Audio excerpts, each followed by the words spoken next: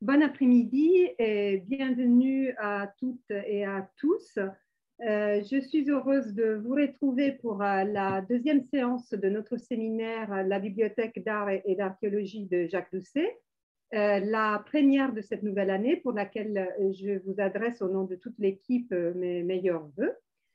J'allais donc le plaisir de vous présenter nos intervenants euh, Stéphanie euh, Rivoire, euh, directrice de la bibliothèque du musée d'art décoratif, directrice de la bibliothèque et des ressources documentaires du musée d'art décoratif, Laure Aberchil, bibliothécaire au musée d'art décoratif et responsable de fonds patrimoniaux, Marianne Sarda, conseillère scientifique à l'INHA pour les domaines histoire et théorie de l'histoire de l'art et du patrimoine qui comprend euh, notre programme La Bibliothèque d'art et archéologie de Jacques Doucet, Corpus Savoir et Réseau, et Jérôme Delatour, euh, conservateur au service du patrimoine de la Bibliothèque des DNHA, où il est le responsable euh, des collections de photographies et de cartons verts, mais surtout grand connaisseur de l'histoire et des archives de la première Bibliothèque d'art et archéologie. Je pourrais enfin compter sur l'aide précieuse de ma collègue Sophie euh, Lisevich, euh, responsable du service patrimoine de la bibliothèque de l'INHA, qui s'occupera de la modération du webinaire. Euh, et avant de leur laisser la parole, je tiens à remercier vivement mes collègues du service des manifestations pour leur aide, patience et résilience dans cette période particulièrement chargée et compliquée pour elles. Donc, au plaisir de vous entendre, je laisse la parole à Marianne Sarda.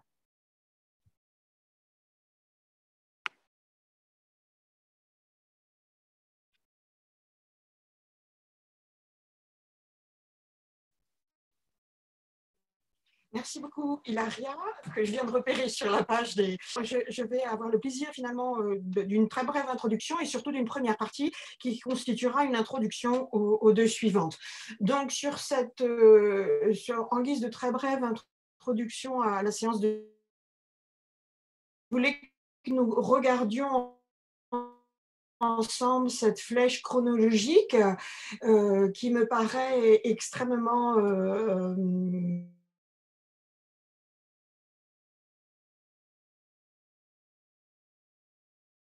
mais c'est peut-être juste temporaire. Donc voilà, je voulais euh, vous montrer, repasser l'histoire euh, dont nous allons parler ce soir sur une frise chronologique qui confronte le temps de la bibliothèque de l'Union centrale des arts qui commence en 1864 avec son ouverture sous l'égide de ce qui s'appelait à l'époque l'Union centrale à l'industrie. Et une date très importante, puisque c'est la date d'ouverture à Paris euh, des premières bibliothèques d'art, avec le temps de la bibliothèque d'art et d'archéologie, euh, sachant que ces deux temps euh, se rencontrent à partir du moment où la bibliothèque centrale s'installe au pavillon de Marsan, au Louvre, ce que vous voyez dans la partie supérieure de la diapositive, ce qui est suivi peu de mois après par au sein du conseil d'administration de l'Union centrale. Et entre là et l'ouverture euh, en avril 1909 au public de la bibliothèque d'art et d'archéologie russe Pontini se noue vraiment le noyau euh, et l'histoire de la conception de la première bibliothèque d'art par Jacques Doucet. Alors, je reviendrai ensuite dans un euh, deuxième temps sur... alors, je regarde parce que j'ai un petit souci pour faire passer les diapositives. Aïe. Excusez-moi. Alors là, c'est un problème. Voilà. Donc, je reviendrai à, la fin de mon introduction, donc cette première partie, sur cette flèche et, j'espère que je vous aurai euh, convaincu euh, de, l'ensemble de ce propos. Alors, euh, les, relations étroites que Jacques Doucet a pu entretenir avec l'Union centrale des arts décoratifs débutent par euh, son élection euh, le 21 avril 1905 au sein du conseil d'administration de l'Union centrale. Donc vous avez ici, alors nous avons la chance, et c'est ce qui a donné un petit peu la raison, le motif de la programmation de cette séance de, séminaire. Nous, avons la malchance à la Bibliothèque d'art et d'archéologie d'avoir très peu d'archives sur la première bibliothèque d'art et d'archéologie avant la Première Guerre mondiale. Et par contre, l'Union centrale a été très organisée et a conservé une partie importante de ses archives. Et ce sont ces archives que j'ai dépouillées pour euh, euh, ce que je vous présente aujourd'hui. Donc, vous avez à écran euh, deux extraits des procès-verbaux des délibérations du conseil d'administration de l'Union centrale. Donc, d'une part, la séance du 17 mars 1905 où on voit qu'il euh, y a quatre euh, places disponibles au conseil d'administration et un certain nombre de noms évoqués. Et en page de droite, l'élection euh, à l'unanimité de deux nouveaux membres, Jacques Doucet et Maurice Fenaille, et un peu plus loin, en, bas de la page, le président qui propose en, en admission de Jacques Doucet comme membre à vie de l'Union centrale. Alors, euh, les archives, décidément, vraiment des soucis. Les archives euh, de l'Union centrale euh, recèlent ensuite la, lettre que deux jours après, Jacques Doucet euh, adresse, une lettre de remerciement évidemment, au président de l'Union centrale. Monsieur le Président, c'est avec une grande joie et une réelle fierté que j'accepte l'hommage qui vient de m'être fait que, vient de me faire, excusez-moi, c'est toujours l'écriture de douceur, on a toujours du mal à s'y remettre à chaque que vient de me faire l'Union centrale des arts décoratifs en, en, me nommant de son comité, etc. etc.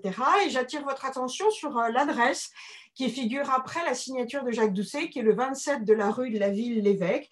C'est important parce que c'est l'appartement euh, dont il était locataire à partir de 1888 et que son père avait acheté pour lui en 93 et euh, euh, différent de l'adresse de la rue Spontini qui va être absolument primordiale pour le projet de la BA. Et en page de droite, vous avez cet extrait des délibérations du conseil d'administration du 4 mai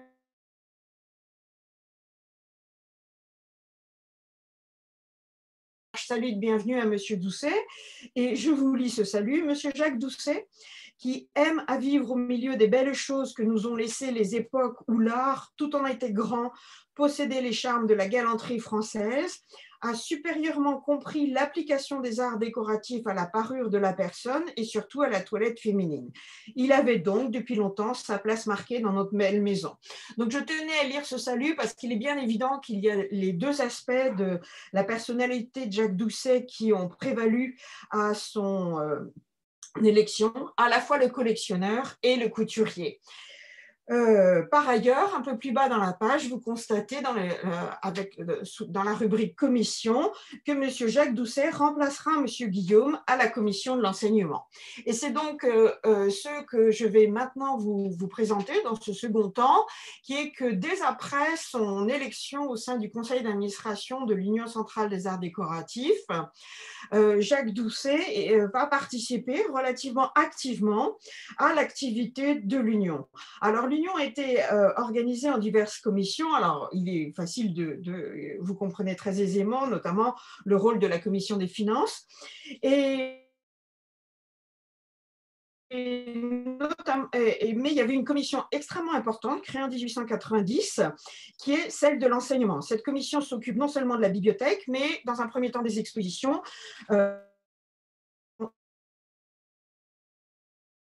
de du MAT sauront mieux le dire que moi, en sont beaucoup plus grands spécialistes, suite à quoi la commission des expositions passe sous l'égide euh, de la commission CRANC. Un certain nombre de noms euh, de personnes sont nommés au sein de, cette commission des expositions temporaires, dont Jacques Doucet. Alors, euh, cette exposition euh, euh, cette commission des expositions temporaires se réunit régulièrement et d'après archives, encore une fois, conservées euh, et que l'on peut consulter au MAD, Jacques Doucet est assez présent et plutôt actif dans cette commission 1906. Il participe, aux discussions, il participe notamment aux discussions de fond, programmation des expositions, et euh, il va notamment prendre un certain nombre de responsabilités dans l'organisation de l'exposition des dentelles euh, pour laquelle l'Union centrale imprime en mars 1906 et qui va se tenir euh, durant les mois de mai et juin 1906, euh, évidemment rue de Rivoli. Euh, c'est important parce que je vous rappelle que Jacques Doucet, que la Maison Doucet, c'est une entreprise familiale fondée en 1816, située depuis 1829 au 17 puis au 21 de la rue de la Paix et spécialisée non seulement dans l'industrie chemisière, mais aussi dans la confection de lingerie et dentelle. Et on sait que c'était la partie plutôt réservé à Madame Doucet, donc Mathilde Doucet, la mère de Jacques Doucet, les broderies et les dentelles. Au sein de la... Euh, de, alors, pour euh, la commission euh, des expositions procède de la manière suivante. Elle nomme pour cette exposition dentelle, broderie et vente sous-commissions, euh, qui sont en fait des comités d'installation et d'admission, puisqu'il fallait euh, non seulement installer les pièces, mais euh, faire appel aux volontés et aux exposants, puisque ce n'était pas la collection proprement parlée de l'Union centrale qui était exposée, mais plutôt des pièces extérieures. Et on apprend, en consultant ces archives, que Jacques Doucet est président du comité de la broderie. Et à l'époque, déjà, et ça c'est une chose importante que je, voulais signaler, comme pour tout à l'heure, il est noté euh, du point de vue de son adresse comme résident désormais au 9 rue Spontini. Alors, euh, ce, relevé des décisions de la séance du comité de la, broderie du 24 mars 1906 montre un Jacques Doucet qui ouvre la séance, qui est à, la manœuvre, qui donne des, renseignements sur le règlement de l'exposition, qui insiste sur le caractère artistique que, que devront présenter toutes les œuvres admises et qui demande à tout un chacun d'apporter pour la prochaine réunion les noms des fabricants ou des artistes dont la participation pourrait être sollicitée. Et j'insiste sur l'importance de, ce, ce, comité de la broderie parce qu'il s'est réuni par exemple en mars quatre fois et donc il rend compte que ce rythme soutenu correspondait pour un, homme qui était quand même chef d'entreprise à, un investissement fort important.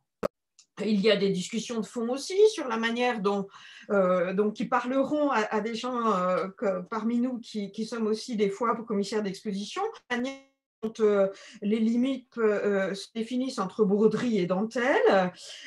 il insiste beaucoup sur le fait que l'Union des œuvres originales et qu'il faut absolument écarter tout ce qui serait des, copies, même de pièces connues. Et il confie, ça c'est euh, dans la dernière partie du, euh, euh, de ce relevé de séance, il confie au comité des la charge de la section rétrospective. On apprend aussi dans ce, dans, ce relevé de décision que d'une manière habituelle pour l'époque, des peintures et des gravures offrant des renseignements sur l'art de broderie seront exposées alors, cette exposition a un grand succès euh, et nous n'avons malheureusement pas de visuel, mais en tout cas, voilà, je voulais, euh, c'est un bon exemple de, Jacques Doucet pleinement inscrit dans l'activité de l'Union centrale et euh, activité qu'il va poursuivre pour l'organisation de certaines des expositions suivantes, notamment à partir de l'automne 1907, il, s'investit dans l'exposition de l'organisation, euh, il s'investit dans, l'organisation de l'exposition théâtrale qui a lieu d'avril à octobre 1908. Vous avez à l'écran ce catalogue, c'est une grosse exposition qui était l'exposition du président Georges Berger de, de l'Union centrale, qui comprenait aussi bien des maquettes, des dessins de décors de théâtre, des reproductions de machinerie, évidemment des accessoires comme le costume. Vous avez à l'écran deux pages euh, de la section costumes et accessoires, euh, des guignols, des images se rapportant aux arts et à l'histoire du théâtre, des portraits d'auteurs, d'acteurs, etc.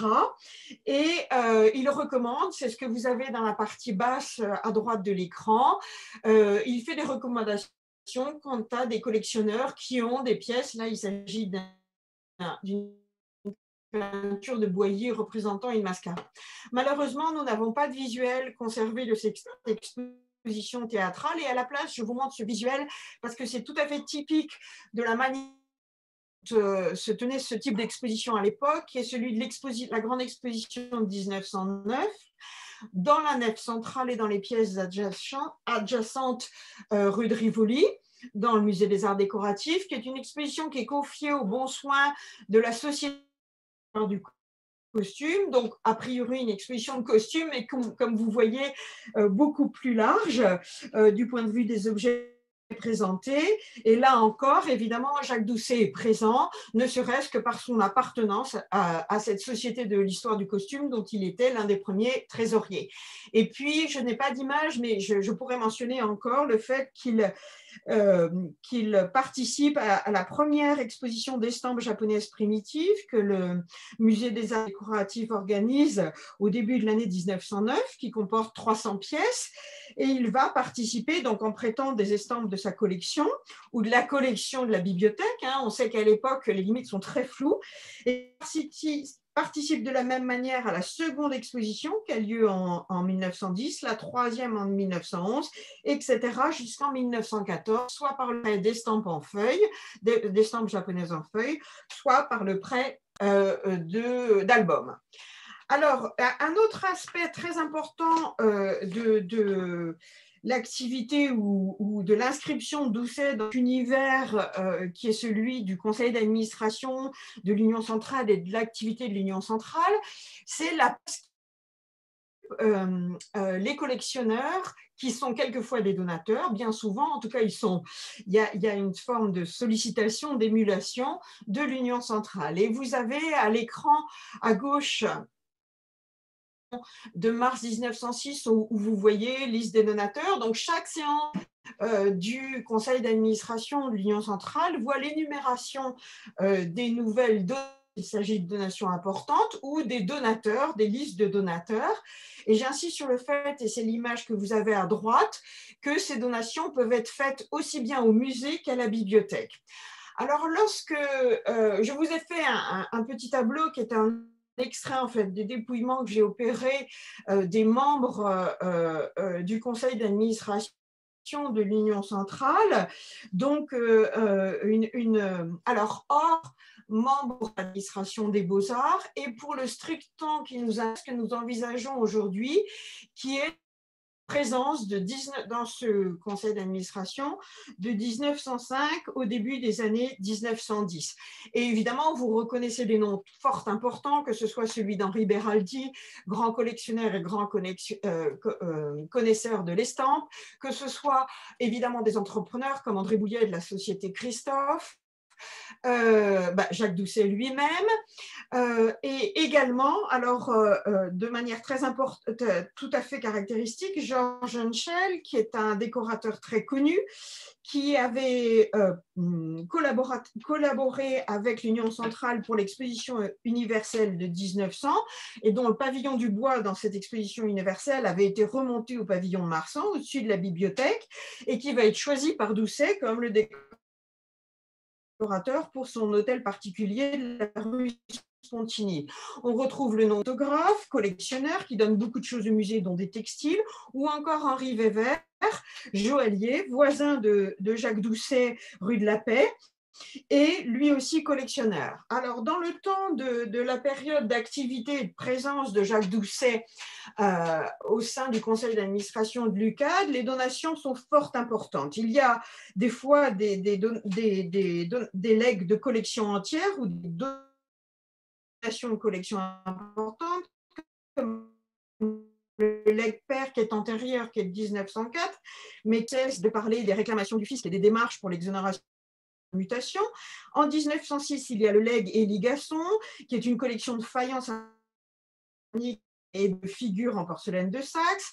En 1906 également, la collection Doiteau, euh, euh d'armes, la collection mobilier, mobilière de la baronne de Saint-Prégnant. En 1907, une, grosse collection d'objets d'art qui est la donation Charles de Lesseps, ou alors également des plus ponctuel. Euh, c'est ce que vous avez ici à l'écran et vous avez en sixième ligne. Il convient aussi de préciser le euh, d'un gilet en soie de style Louis XVI. Donc, tout ça pour insister aussi sur le fait qu'il pouvait y avoir des dons très ponctuels, mais aussi de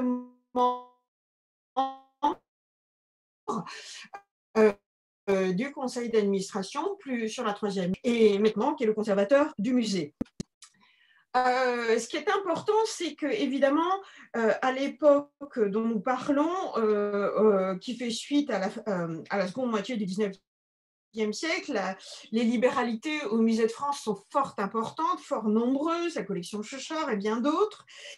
Elles sont médiatisées. Et un événement important, en fait, de 1906 à 1913, et notamment discuté en 1906, est celui de l'accueil de la collection Monrené-Laton qui comprenait des artistes vivants et qui ne pouvaient pas donc entrer en tant que tels directement au Louvre et qui est donc confiée à la garde du musée des arts décoratifs et pour laquelle quatre salles sont aménagées dans le ministère des Finances, euh, quatre salles mitoyennes des salles du musée des arts décoratifs. C'est ce que vous avez à l'écran.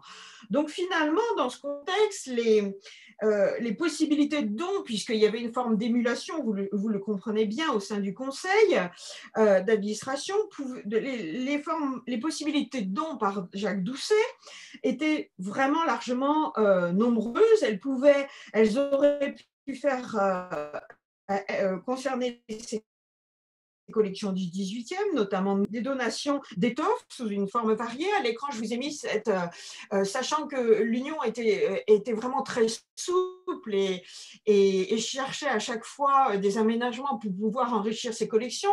Là, vous avez en 1907 toute cette discussion autour de cette collection d'étoffes florentines, la collection Bardini, qui est une collection fort imposante, qui demande qui a coût supérieur à ce que peut s'offrir, euh, ce, que l'Union centrale peut acheter, et qui finalement aboutit à une division en trois de la collection, 111 euh, pièces qui viennent qui rejoignent les collections du, musée des arts décoratifs, 36 pièces rejoignent le musée des tissus de Lyon et 11 sont gardées par M. Massier. Au de tout ça, finalement, euh, Doucet forme le projet. Euh, et là, je, vous mets ce témoignage. Alors, je ne sais pas où est conservé la lettre originale, donc je, je, vous mets aussi la référence bibliographique qui m'a été signalée, et je tiens à le remercier par Philippe Sénéchal, parce que c'est ce qui m'a donné vraiment l'idée de travailler sur ces archives, et qui est ce projet, en fait, de donner, de constituer une bibliothèque et de la donner. Donc, je lis l'extrait entier parce que c'est vraiment un témoignage que l'on ne peut pas mettre euh, en question. Euh, Gustave Dreyfus était lui-même un grand collectionneur et siégeait au conseil d'administration euh, de l'Union centrale. Donc, il n'y a vraiment aucun doute quant à ce, qu'il dit dans cette lettre qu'il adresse au directeur des musées de Bain. Mon cher docteur, mon ami Doucet va faire bâtir à côté de son hôtel une bibliothèque qu'il veut fournir de tous les ouvrages cette bibliothèque qu'il veut léguer au musée des arts décoratifs doit être très complète et comprendre 25 ou 30 000 volumes. Il me prié de lui envoyer la liste complète de vos ouvrages sur l'art Là, je fais une parenthèse, c'est vraiment une manière de travailler qui va devenir tout à fait récurrente, régulière au sein de la BA. Vous pourriez peut-être publié en Allemagne depuis 20 ans et que vous considérez comme devant faire partie d'une semblable bibliothèque. Doucet pour l'Espagne pour un mois et serait vous pouviez lui donner ses renseignements pour son retour. Vous voyez, Doucet est toujours extrêmement euh, réactif. Quand il a une idée, il la met immédiatement en place. Je vous remercie d'avance. Son adresse, 19 rue Spontini. Non seulement euh, Doucet forme cette idée d'une bibliothèque d'art euh, en 1906 au sein de, de cette une bibliothèque qu'il destine au départ euh, à rejoindre les fonds de la bibliothèque de l'Union centrale, mais il va euh, recruter bibliothécaire euh, un an et demi après au sein de, de la bibliothèque de l'Union centrale. Vous avez ici le, la science de la, la, séance du 30 juin 1908 du, Conseil d'administration de l'Union centrale, qui fait suite d'ailleurs à la délibération du 23 juin de la Commission de l'enseignement, dans laquelle on apprend démission de M. René Jean, appelé par M. Paul Cornu est nommé sous-bibliothécaire aux appointements de 3 000 francs. Donc, je ne vais pas revenir ici sur l'ensemble de la carrière de René Jean, dont vous avez ce, ce très beau portrait couleurs dans le jardin de la, du 19 rue Spontini, qui était l'hôtel particulier de, pardon, de Jacques Doucet. Donc, ce n'est pas tout à fait derrière l'hôtel, hein, c'est à côté derrière l'hôtel, dans la rue, qui est la rue de Noisiel, qui bordait de manière transversale appartenant à Jacques Doucet. Et donc, je vous renvoie pour, ce, pour connaître plus avant euh, René Jean, euh, consacré à un mémoire universitaire, donc, qui, était donc la deuxième fille de René Jean, qui a consacré un mémoire universitaire à son père et qui ensuite a rédigé ce petit catalogue d'expositions organisé par l'INHA en 2005 ce qui a été étonnant, c'est, et ce qui m'a étonné, c'est en fait découvrir des documents que je ne connaissais pas dans les archives en fait de l'Union centrale des arts décoratifs, dans son dossier en fait de personnel. Et j'ai retracé euh, ces éléments dans, ce billet du, carnet de recherche. Donc vous avez l'adresse du carnet de recherche du programme euh, de recherche de l'INHA en haut. Donc je vous renvoie, je vais euh, mais pas répéter ce que vous trouverez dans ce dans ce carnet, à savoir que euh, René Jean, qui s'appelait en fait euh, du point de vue de, de, de, de l'état civil René Hippolyte Jean, qui est né en 1879, a grandi dans un milieu modeste, que sa vie professionnelle démarre très tôt, à 15 ans à Paris, en tant que commis aux écritures au Crédit Lyonnais, et qu'il poursuit jusqu'en 1904 euh, ses efforts dans cette voie commerciale. Il suit d'ailleurs les cours publics de Marcel Dubois à la faculté des lettres de l'Université de Paris, qui va le recommander. La lettre est conservée dans les archives du MAD pour l'emploi de sous-bibliothécaire à, l'Union centrale. En effet, dans des circonstances qui restent ignorées, euh, René Jean commence vers 1900, parallèlement à son premier emploi, une carrière de journaliste et de critique d'art. Et vous voyez sur le registre du personnel euh, que vous avez à droite sur l'écran le fait qu'il est engagé au 15 juin 1904 avec cette dénomination euh, qui semblait être son métier à l'époque, publiciste d'art, qui j'avoue est assez vague. Il est lié par sa famille paternelle au peintre Amangean et c'est ce serait aussi grâce à quoi il a obtenu cet emploi puisque Jules Massier, cousin et collectionneur euh, d'Amangean, euh, joue un rôle prépondérant évidemment à l'Union centrale et notamment à la bibliothèque. Jusqu'en 1908, puisqu'il quitte en fait euh, l'Union centrale pour rejoindre la BAA euh, au, 30 août 1908, euh, René Jean collabore étroitement avec Massier. il n'avait aucune formation en bibliothéconomie en histoire de l'art. Et c'est peut-être pour euh, un petit peu justifier la légitimité de cet emploi que de 1904 à 1908, il s'inscrit à l'école du Louvre. En tout cas, je voulais attirer votre attention sur ces émoluments au moment de son départ, qui sont de 3000 francs, euh, que l'on peut comparer à ceux du bibliothécaire, proprement dit, Léon euh, Désert, qui touchait à l'époque 4000 francs. Et vous avez en dessous ceux de Paul Cornu qui remplace René, commence également avec la somme de 3 000 francs et qui va euh, être augmentée progressivement. Et sur la partie droite de l'écran, cette lettre forte importante conservée à la BNF, euh, au sein des lettres de Jacques Doucet, de, à René Jean, qui, a, fait l'objet d'un don de René Jean de son vivant avant son décès en 1951. Euh, lettre dans laquelle Doucet dit à René Jean ce qu'il attend de lui. Donc, monsieur, voici, donc sur la première page, voici dans quelles conditions vous entrerez chez moi comme bibliothécaire le 1er septembre prochain. Et sur la page de droite, quatrième ligne, comme il faut vivre, euh, vos, émoluments seront de 5 000 francs par an.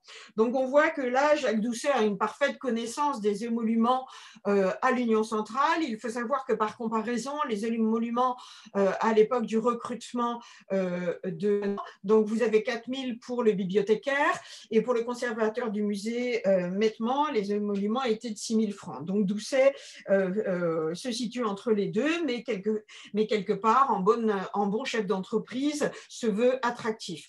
Alors, pour terminer cette grande introduction à la séance d'aujourd'hui et pour introduire le propos de mes collègues, euh, je voulais euh, un petit peu insister euh, sur ce qu'il se passe euh, après 1910, puisque on a la chance aussi dans les archives du MAD d'avoir le livre de présence et les différentes signatures. Là, je vous ai mis la première séance du conseil d'administration du 4 mai 1905 à laquelle Jacques Doucet et vous voyez dans, la première colonne en page de droite, deuxième ligne, la signature de Doucet.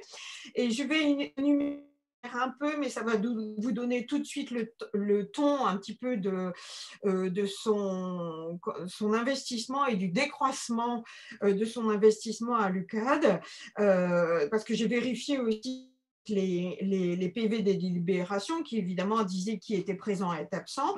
Donc en 1905, sur les trois séances qui restent euh, après qu'il ait été élu, Jacques Doucet est présent à deux séances. En 1906, il y a six séances du, du conseil d'administration, il est présent à cinq séances très mobilisé.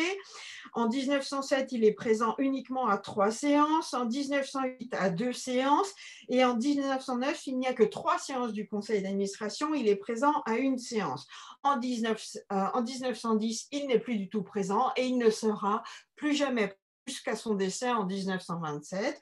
Euh, comme je vous l'ai dit, il est membre à vie, il reste membre du conseil d'administration, mais on voit que euh, c'est pour parler un petit peu euh, communément, mais c'est aussi la manière de fonctionner. Il est passé à autre chose, il a d'autres projets. Pour autant, ces liens avec l'Union centrale restent importants, déjà au niveau personnel, familial, parce que l'un de ses deux neveux, André de Brugeot, il vous voyez ici nommé. Euh, en page de droite, c'est l'une des premières pages du catalogue de l'exposition théâtrale que je vous ai montré tout à l'heure de 1908. Donc, vous retrouvez la mention au sein du personnel du musée André Dubougeot. Il est attaché à la conservation.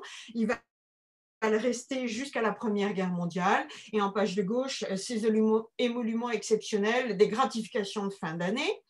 Euh, Jacques Doucet avait deux neveux, euh, donc euh, par sa sœur, qui est Marie Doucet, qui a épousé Léon de Bourgeot, qui était architecte, diplômé de l'école des beaux-arts, mais qui a exercé comme entrepreneur de travaux publics, et qui est l'entrepreneur qui va construire l'hôtel particulier de la rue Spontini. Et Jacques Doucet était particulièrement attaché à André, qui malheureusement décède en 1915 au cours de la Première Guerre mondiale d'une maladie contractée sur le front. Euh, les liens professionnels sont fort importants entre les deux bibliothèques puisque certains de leurs interlocuteurs sont les mêmes. Vous avez ici, extrait du registre du personnel de l'Union centrale, euh, euh, l'emploi pendant trois ans, de 1897 à 1900, de Jean Chemy, qui était un ancien employé de librairie, qui va ensuite, en tant que bibliothécaire, et qui va ensuite quitter la bibliothèque de l'Union centrale pour être libraire. Et sur la, droite de l'écran, flyer en fait de la publicité que Jean Chemy, libraire, a fait pour les publications, euh, les anciennes publications de la Bibliothèque d'art et d'archéologie, avec ce sous-titre général, publication que nous aimons beaucoup, publication pour faciliter les études d'art en France, et avec cette sorte d'ex-libris euh, qui était euh, l'ex-libris que Doucet avait fait créer pour les publications de la BA.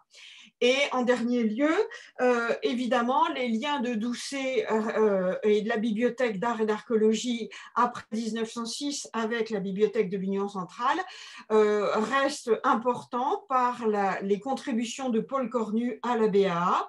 Donc là, vous avez à nouveau le registre du personnel. Donc Paul Cornu est recruté pour prendre la succession de René Jean. Il est recommandé par Gaston Brière, conservateur à Versailles, représentant des beaux-arts. Et par Moronet Laton. Euh, c'est un archiviste, là aussi, je vous renvoie à droite sur la, ce petit billet que j'ai fait pour le carnet de recherche du programme et, euh, les recherches que j'avais faites à partir notamment des archives de Paul Cornu qui sont conservées euh, à aux, archives départementales de la Nièvre à Nevers. C'est un, alors pour être très bref, parce que je vois que j'ai déjà dépassé de cinq minutes euh, le temps imparti, c'était une personnalité extraordinairement attachante, aussi bien au niveau personnel que professionnel. Euh, il est né dans la Nièvre, il a, euh, il a été élève de l'école des Chartes de 1901 à 1906 et il a passé sa thèse sur le Nivernais. Il, va, il signe d'un grand attachement qui reste durable à sa région natale, mais son parcours professionnel semble débuter le 1er septembre 1908 par cet emploi de sous-bibliothécaire à l'Union centrale et il le restera jusqu'à son décès dans les tout premiers euh, temps de la, Première Guerre mondiale, le 29 décembre 1914. Euh, donc cette courte carrière professionnelle est complétée par de très nombreux travaux, des travaux effectués évidemment sur le Nivernais en tant qu'historien, mais aussi les premiers travaux d'historien d'art, notamment sur les faïences du Nivernais. Ensuite, des publications vraiment tout à fait typiques de, son statut d'archiviste paléographe, donc des publications utiles aux historiens d'art, portant notamment sur les sources, et puis bientôt des publications l'art, euh, travaillant sur les sujets variés, l'architecture, les arts décoratifs et notamment le textile et le costume. En 1912, il signe un contrat avec la maison Hachette pour l'écriture d'une histoire du costume du 18e et compte tenu de la très faible historiographie euh, euh, existant à l'époque sur le textile et le costume, s'il avait été au bout de ce projet, ça aurait été une, une publication vraiment importante d'après les archives de ce projet qui ont été conservées et qui sont à Nevers. Et par ailleurs, dans les mêmes années, de 1912 à 1914, il est débauché et en plus de son travail de sous-bibliothécaire à l'Union centrale, euh, Jacques Doucet lui confie une mission qui est celle de constituer un fonds d'ouvrage sur le costume à la Bibliothèque d'art et d'archéologie.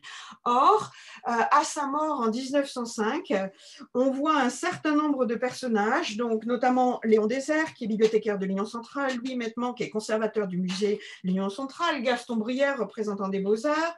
Raymond Quequelin, qui est membre du conseil d'administration, donateur et très présent au sein de l'Union centrale, euh, pense immédiatement à faire revenir René Jean pour qu'il reprenne sa place à l'Union centrale parce que lorsqu'il l'avait quitté, il n'avait pas été rayé des effectifs, mais il avait été seulement placé en congé illimité.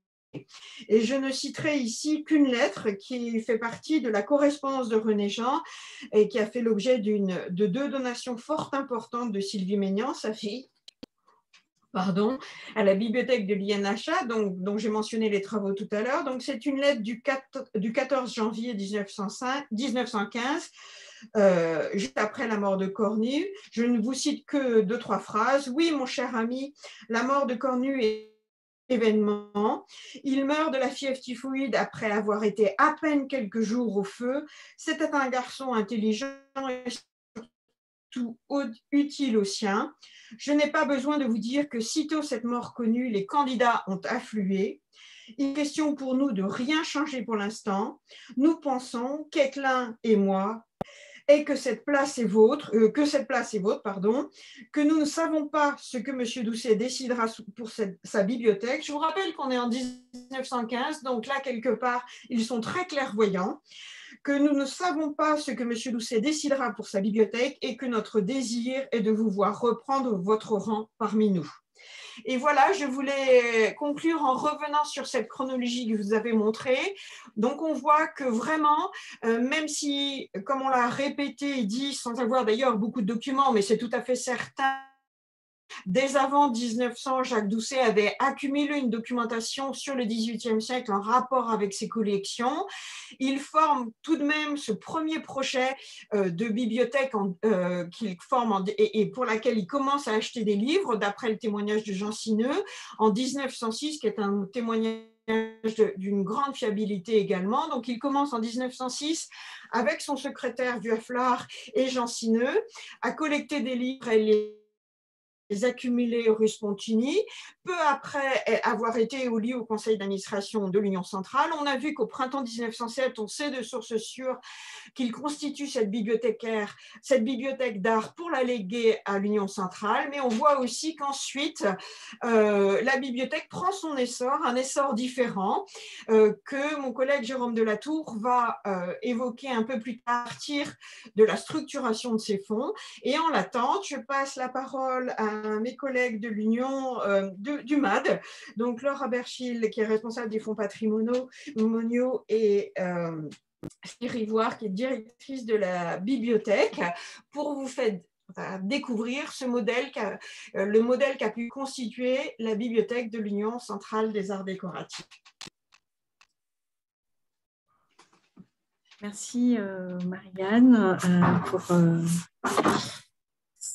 cette plongée d'emblée dans les archives de, l'Union centrale et aussi pour cette chronologie qui va nous être utile pour la communication que nous allons préparer avec Laure, puisqu'en fait, on va vous proposer une intervention en, trois temps. alors, je vais partager mon écran tout de suite. Hop.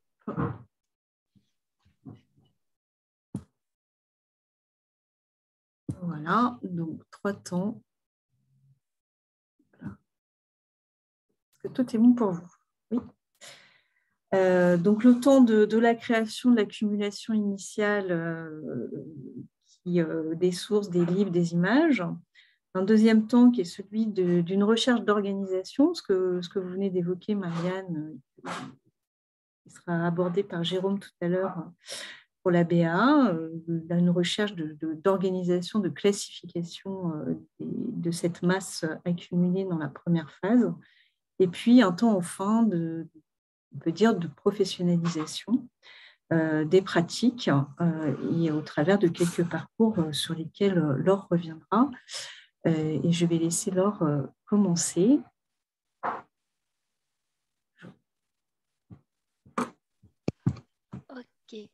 Bon, alors, euh, donc, euh, moi, je.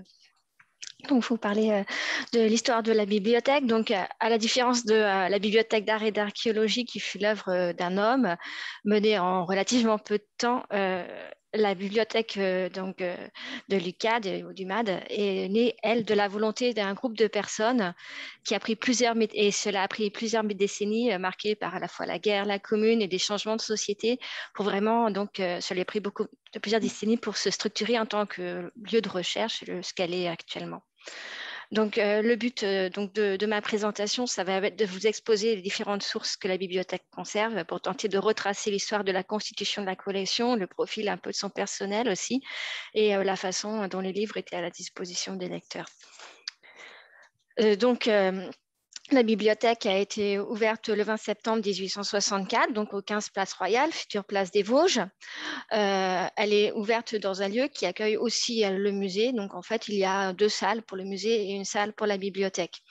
Euh, ils ont été fondés donc par une société qui s'appelle l'Union centrale des beaux-arts appliqués à l'industrie, elle-même créée par des industriels d'art, dans le but d'offrir aux artisans et aux ouvriers d'art qui travaillent avec eux et qui sont donc eux qui, qui, qui euh, localisés euh, dans le Marais et dans le Faubourg Saint-Antoine, donc vraiment à proximité de, la place des Vosges. Donc, ils veulent leur donner un lieu où s'instruire et où trouver des sources d'inspiration. Euh, parce que, en fait, donc, comme vous pouvez le lire dans le premier texte, donc leur but, c'est d'entretenir et de développer en France la culture des arts qui poursuivent la réalisation du beau dans l'utile et aussi de conserver à nos industries d'art dans le monde entier leur vieille et juste prééminence. Euh, parce que donc en 1864, on est à l'époque où les expositions universelles se succèdent et où il y a une très grande euh, rivalité et émulation entre les différents pays et euh, donc notamment avec l'Angleterre qui vient d'ouvrir un musée euh, qui est le South Kensington Museum et où déjà justement il y a une bibliothèque donc pour, euh, pour instruire ces, euh, ouvriers et donc les, artisans parisiens, les, industriels d'art commencent à s'inquiéter et à, à, craindre de, de voir l'Angleterre les supplanter. Donc, la bibliothèque euh, va euh, s'intégrer dans un programme qui est plus large, donc qui comporte aussi donc un musée rétrospectif et, euh, contemporain, donc qui est situé pour l'instant encore avec elle. mais il y a aussi des cours spéciaux, des concours et des expositions. Donc, alors ensuite, deuxième la diapositive suivante, s'il vous plaît. Je suis désolée, c'est pas moi qui fais le diapo, c'est Stéphanie. Euh, donc, euh, la bibliothèque euh, est fondée donc Place des Vosges. L'Union centrale, donc ici, je vous présente une des premières listes des fondateurs de l'Union centrale, qui est donc arrêtée en 1865. Et elle, elle liste à peu près 80 membres. 80 fondateurs. la plupart, bien sûr, sont des industriels d'art ou des artistes. En gros, euh, ça fait mmh, pratiquement les, deux tiers sont, des industriels d'art, des artistes. Mais il y a aussi euh, dans cette société euh, des hommes de l'Est. Tout à l'heure, on, parlait des littérateurs d'art, justement, donc tous ces, critiques d'art, notamment Champfleury ou Philippe Burti ou Léon de Laborde. et donc, le, personnel de la bibliothèque, quand on regarde, est composé à la, à, l'image de, cette société, parce que ce ne sont pas des bibliothécaires, mais, ce sont euh, le, bibliothécaire, enfin de métier, Jules, Joseph Ardou, est, un homme de lettres. Donc probablement l'éditeur du travail universel, mais euh, je ne suis pas sûre parce que pour la BNF, c'est euh, Jean-Jacques Arnaud qui, a édité ce, cette revue, donc qui a, été publiée au moment de l'exposition universelle de 1855, donc ce qui euh, montrerait justement ce, lien très important déjà avec euh, les fondateurs et, les expositions universelles. Et donc le sous-bibliothécaire, quant à lui, euh, est Charles-Ernest Clerget, et lui c'est un destinateur humaniste, donc dont les productions vont intégrer rapidement les collections de la bibliothèque. Par contre, ce qui a signalé, c'est que euh, même s'ils sont des gens qui sont proches euh, des, membres euh, de la société, ils ne font pas partie des fondateurs. à, la, différence que, par exemple, du puisque lui qui a été le premier conservateur du musée, qui était Hugh Lagman, le sculpteur, et qui lui était vraiment faisait partie des, principaux fondateurs et même des membres des sociétés antérieures qui ont abouti à la société, à l'Union centrale des beaux-arts appliqués à l'industrie. Alors ensuite, euh, nous avons euh, donc dans, les, euh, dans les collections des sources, des archives donc assez incomplètes sur la constitution exactement des collections. la première pièce d'archive, c'est les livres d'enregistrement des dons faits pour la fondation d'un musée d'art industriel. Donc, et là, on se rend compte que parmi la centaine de dons euh, qui sont listés, il y en a déjà un bon tiers qui sont à destination de la bibliothèque, et notamment le premier d'entre eux, donc, qui est fait par Édouard Guichard, qui est le président fondateur de la société, qui est décorateur, et il, euh, fait le don d'un livre qui est Le Moyen Âge et la Renaissance, et qui est intéressant justement de par son thème, puisque le thème de la Renaissance, enfin la période de la Renaissance est quand même une des principales sources d'inspiration de l'art décoratif au milieu du 19e siècle. La deuxième source euh, est le livre d'inventaire des ouvrages à figures, livres, brochures, dessins originaux, collections d'estampes et de photographies achetés pour la bibliothèque. Mais euh, par contre, euh, c'est pour une période très... Enfin, il s'arrête en 1868, donc c'est vraiment très, très peu. et il compte 566 ouvrages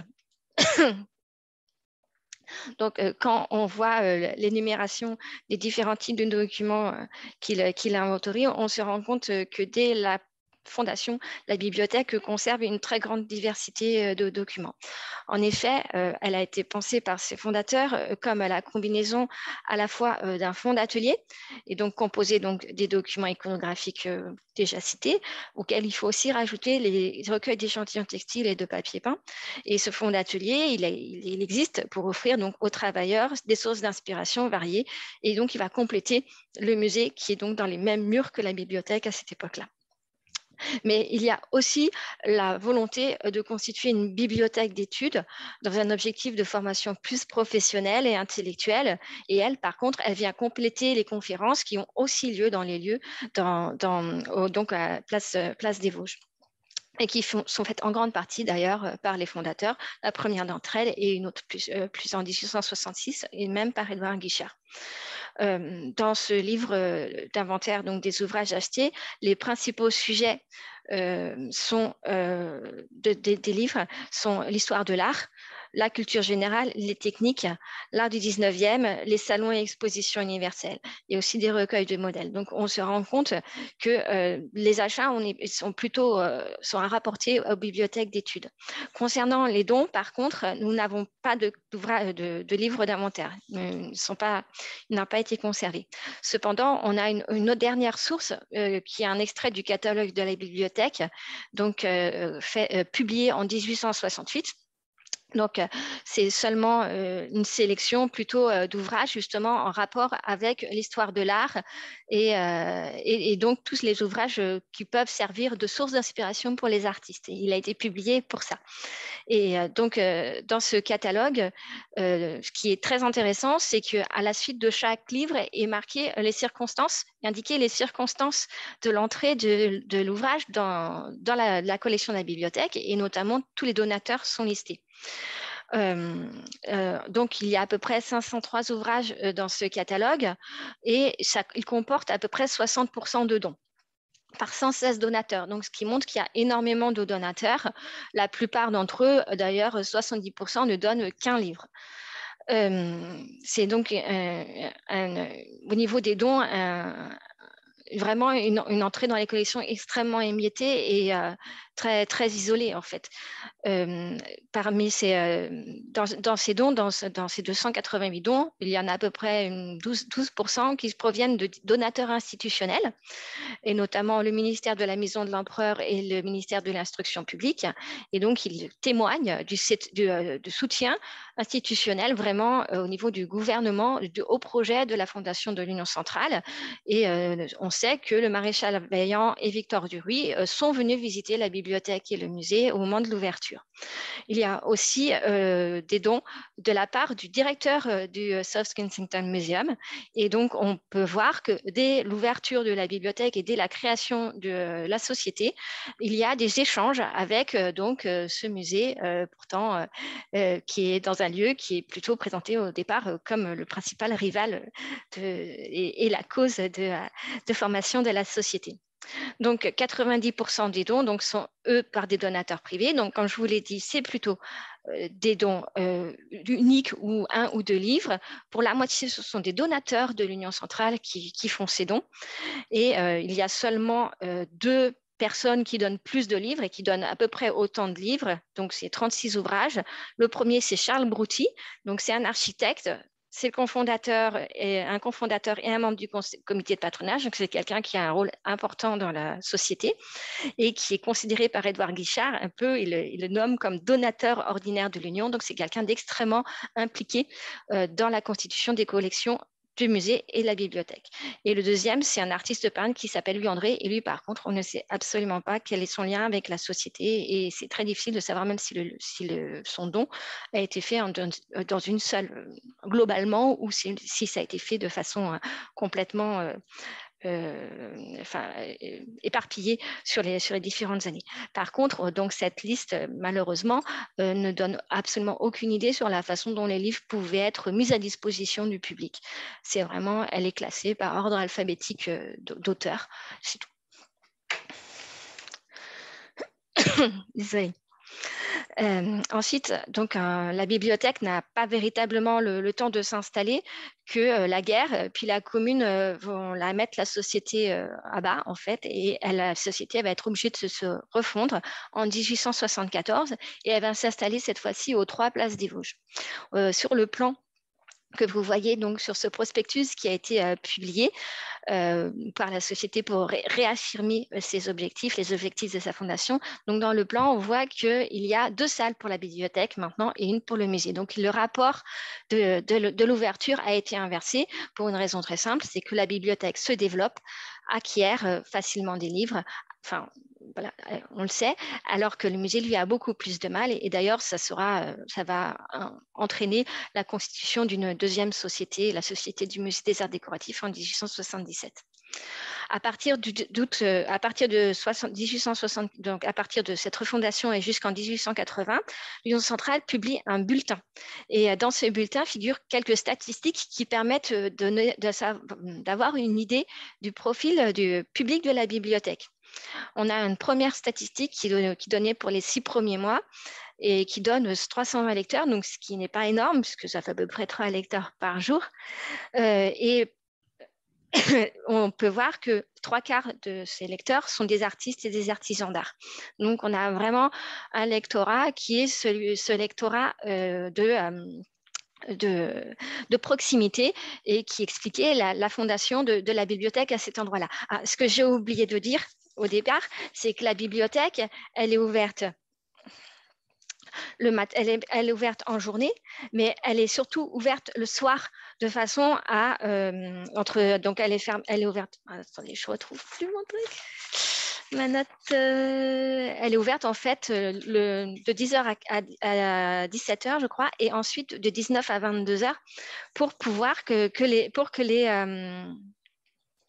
les artisans d'art puissent venir euh, la fréquenter. Euh,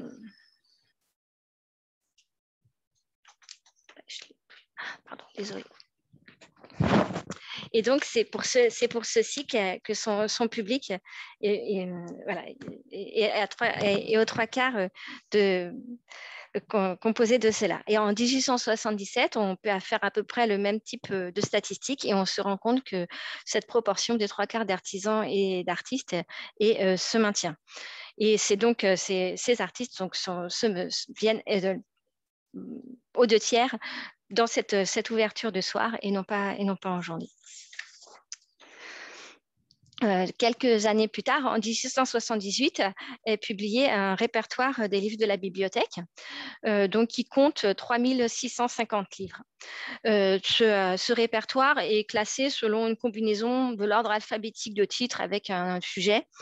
Et les principaux sujets donc, de, des, des, documents sont l'histoire de l'art, les collections des musées et l'architecture. Donc, on est quand même dans quelque chose d'extrêmement généraliste par rapport ce, aux documents offerts au, au, public sur l'histoire de l'art. Mais par contre, il n'y a toujours aucune cote ni aucun moyen de savoir euh, comment étaient rangés les livres et donc comment les, lecteurs pouvaient y accéder. On est vraiment, euh, et Paul Cornu, euh, dans un article qu'il a publié suite à une conférence faite en 1800, 1911 auprès de la Société française des bibliothèques, et dit que d'ailleurs ce répertoire est un modèle de ce que l'ignorance associe à la bonne volonté pour produire de plus inutile. Le principal intérêt, c'est qu'on a enfin une liste globale des livres de la bibliothèque pour nous. Euh, un autre document un petit peu plus tardif de la fin de 1881 peut enfin nous permettre de savoir comment étaient rangés les, les, ouvrages dans la salle de lecture. C'est un inventaire topographique de la bibliothèque euh, qui a été donc euh, euh, établi au moment de la fusion donc, de la Société de l'Union centrale des beaux-arts appliqués à l'industrie avec cette fameuse Société du Musée des arts décoratifs. Et donc, euh, cette fusion va aboutir en 1882 à la création de l'Union centrale des arts décoratifs.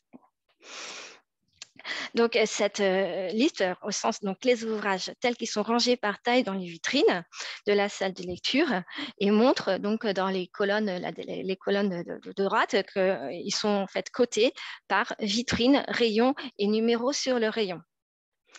Euh, donc, euh, cette liste comporte 5368 ouvrages et 5060 gravures et photographies. Donc, elle est arrêtée au 15 décembre 1880. On sait aussi, grâce à ça, que dans la première salle sont conservés les ouvrages de grande taille dans les vitrines de AAI, puis les ouvrages plus petits dans les, donc, dans le, les vitrines de JAP. Et dans la deuxième salle, donc, vous avez une photographie là euh, sur la gauche. Euh, on a les ouvrages de plus petit format en haut et dans les vitrines du bas, vous avez euh, les albums d'échantillons et les portefeuilles de planches.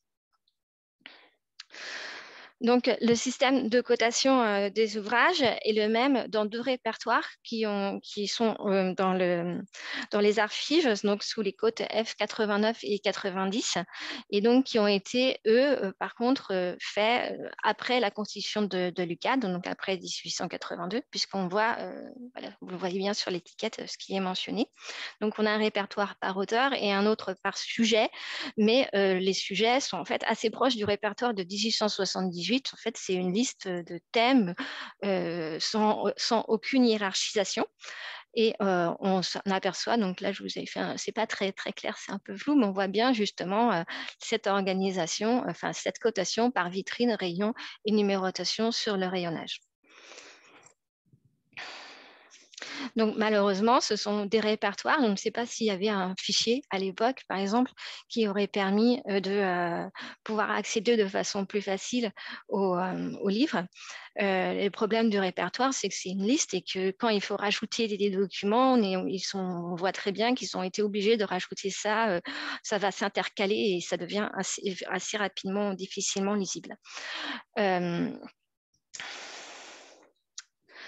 donc, en 1882, avec la création de la nouvelle société, la, bibliothèque a enfin de l'argent pour pouvoir faire des acquisitions. Et euh, donc, en 1885, euh, euh, Monsieur Bézier, qui est le bibliothécaire chargé de la rédaction du catalogue, rédige ce que peut avoir vraiment le premier programme d'acquisition de la bibliothèque, où il argumente les choix à, faire par rapport aux besoins du public. Donc, il dit, donc là, j'ai surligné les passages que je vais que vais citer. Donc, il dit que en fait, euh, toutes euh, les, personnes viennent seulement chercher donc euh, que la, bibliothèque est essentiellement fréquentée par des ouvriers artistes du Marais et du Faubourg Saint-Antoine et que ceux-ci viennent chercher des euh, documents en dehors de toute préoccupation bibliographique. Ils ne veulent que des documents qui les éclairent et les guident dans leur œuvre de chaque jour. Ils veulent des répertoires d'art appliqués, des glossaires illustrés et ils veulent simplement découvrir rapidement le renseignement désiré, la reproduction de l'objet en cours d'exécution. Pour cela, ils préconisent de continuer à acheter les publications d'art décoratif qui sont déjà en grande en, grande, en, grand nombre sur les rayonnages de la bibliothèque. Et euh, en fait euh, il ne, et de le compléter aussi euh, ces publications les publications déjà inscrites au catalogue et notamment de compléter par certains ouvrages devenus des manuels. Mais il est vraiment dans l'idée de d'acheter pour ce, ce, type de lectorat et vraiment que, des ouvrages à grande partie en grande partie iconographiques. Toute la partie vraiment éducative qu'on voit euh, dans euh, la bibliothèque euh, au départ, la, bibliothèque des fondateurs, pour lui n'est plus véritablement intéressante. Par contre, euh, à la suite de la fusion des deux sociétés, il va y avoir aussi une évolution euh, dans euh, des collections de la bibliothèque qui est due à celle du profil des membres de la société. avec l'entrée des, membres de la société du musée des arts décoratifs, ce sont surtout des collectionneurs qui vont venir et des gens qui vont énormément donner au musée, mais aussi énormément donner à la société, à la bibliothèque. à partir de la fin du 19e siècle, 80% en fait des ouvrages inscrits au cahier d'inventaire sont donnés. Donc, les plus grands donateurs, ça va être bon, bien sûr euh, Jules Massier, mais ça peut être aussi Raymond Quequelin. Il va y avoir aussi de très gros legs, notamment Paul Gano, qui est ancien conservateur du musée, ou aussi euh, le, legs euh, d'Émile Père, puisque en parallèle du leg, enfin des 4000 objets qu'il donne au musée, il va donner aussi sa bibliothèque à la, bibliothèque donc, du, musée des arts décoratifs. Et parmi les plus beaux livres anciens qui sont actuellement dans les de la bibliothèque proviennent des mille pères. Donc, désolée. Donc, avec euh, aussi cette nouvelle société, il va y avoir une évolution euh, dans le personnel de la bibliothèque. En fait, euh, en 1882, en plus donc des, bibliothécaires, du bibliothécaire adjoint, du surveillant, du gardien qui existait, qui était déjà donc qui, constituait le personnel de la bibliothèque, va être nommé un conservateur qui est Alfred de Champeau.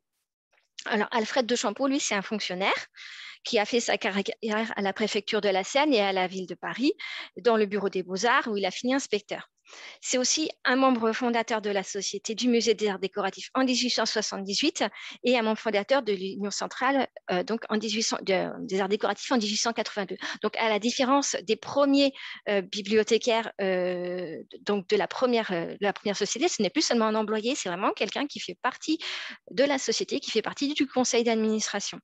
Il publie aussi régulièrement dans différentes revues comme la Gazette des Beaux-Arts ou la Revue des Arts décoratifs, donc avant même sa nomination en tant que, que, que, responsable de la bibliothèque. Et à partir de 1888, notamment, il va diriger la publication du portefeuille des arts décoratifs. Donc, c'est quelqu'un qui est très impliqué, qui écrit beaucoup et qui écrit beaucoup aussi justement pour vulgariser l'art. En septembre 1887, donc peut-être en réaction à l'ouverture de la bibliothèque fournie en 1886, je me pose la question, il va publier dans la revue des arts décoratifs, donc vous avez ici euh, une reproduction de cet article de deux pages, un article qui est considéré comme l'acte de naissance de la collection iconographique de la bibliothèque cest qu'il y a déjà beaucoup d'images, hein. donc on l'a bien vu euh, dans l'inventaire topographique de 1881, il y a déjà un certain nombre d'images à la bibliothèque, et en plus avec l'argent euh, que, euh, que la société a depuis les années, donc les années depuis la, fondation de l'UCAD, la bibliothèque a acheté énormément d'images beaucoup de, notamment beaucoup de gravures en vente aux enchères et beaucoup de photographies. Et à ce moment-là, Alfred de Champeau va se, va se retrouver à la bibliothèque à la tête d'une collection qui devient un peu pléthorique et difficile à gérer.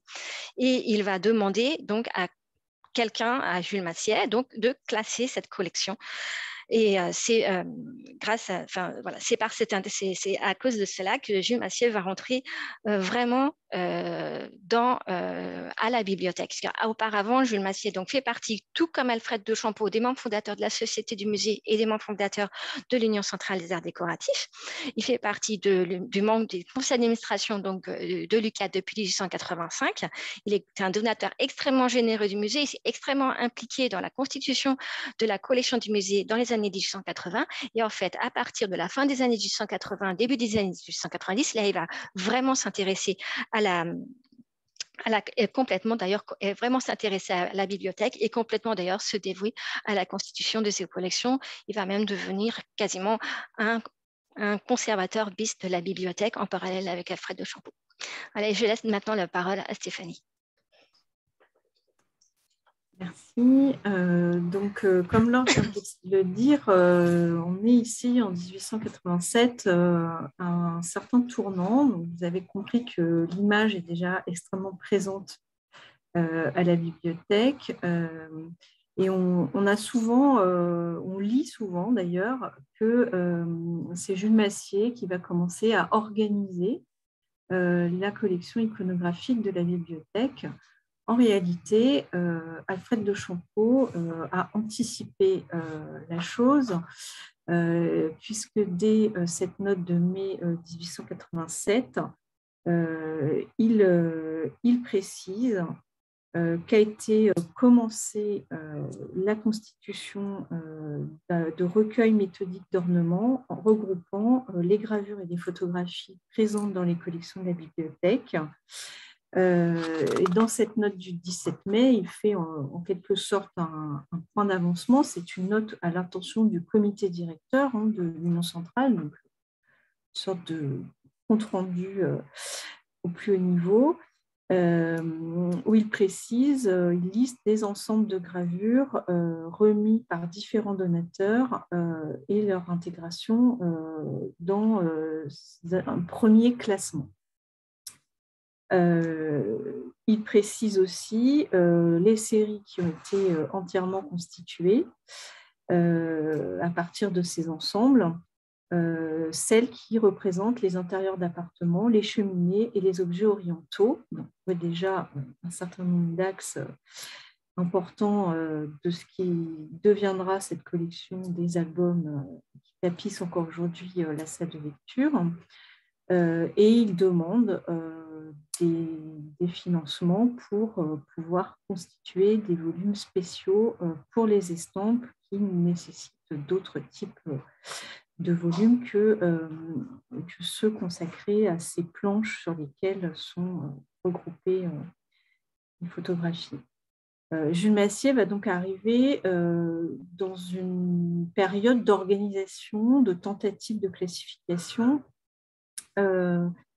Et comme l'a dit Laure, il va en devenir un des artisans principaux.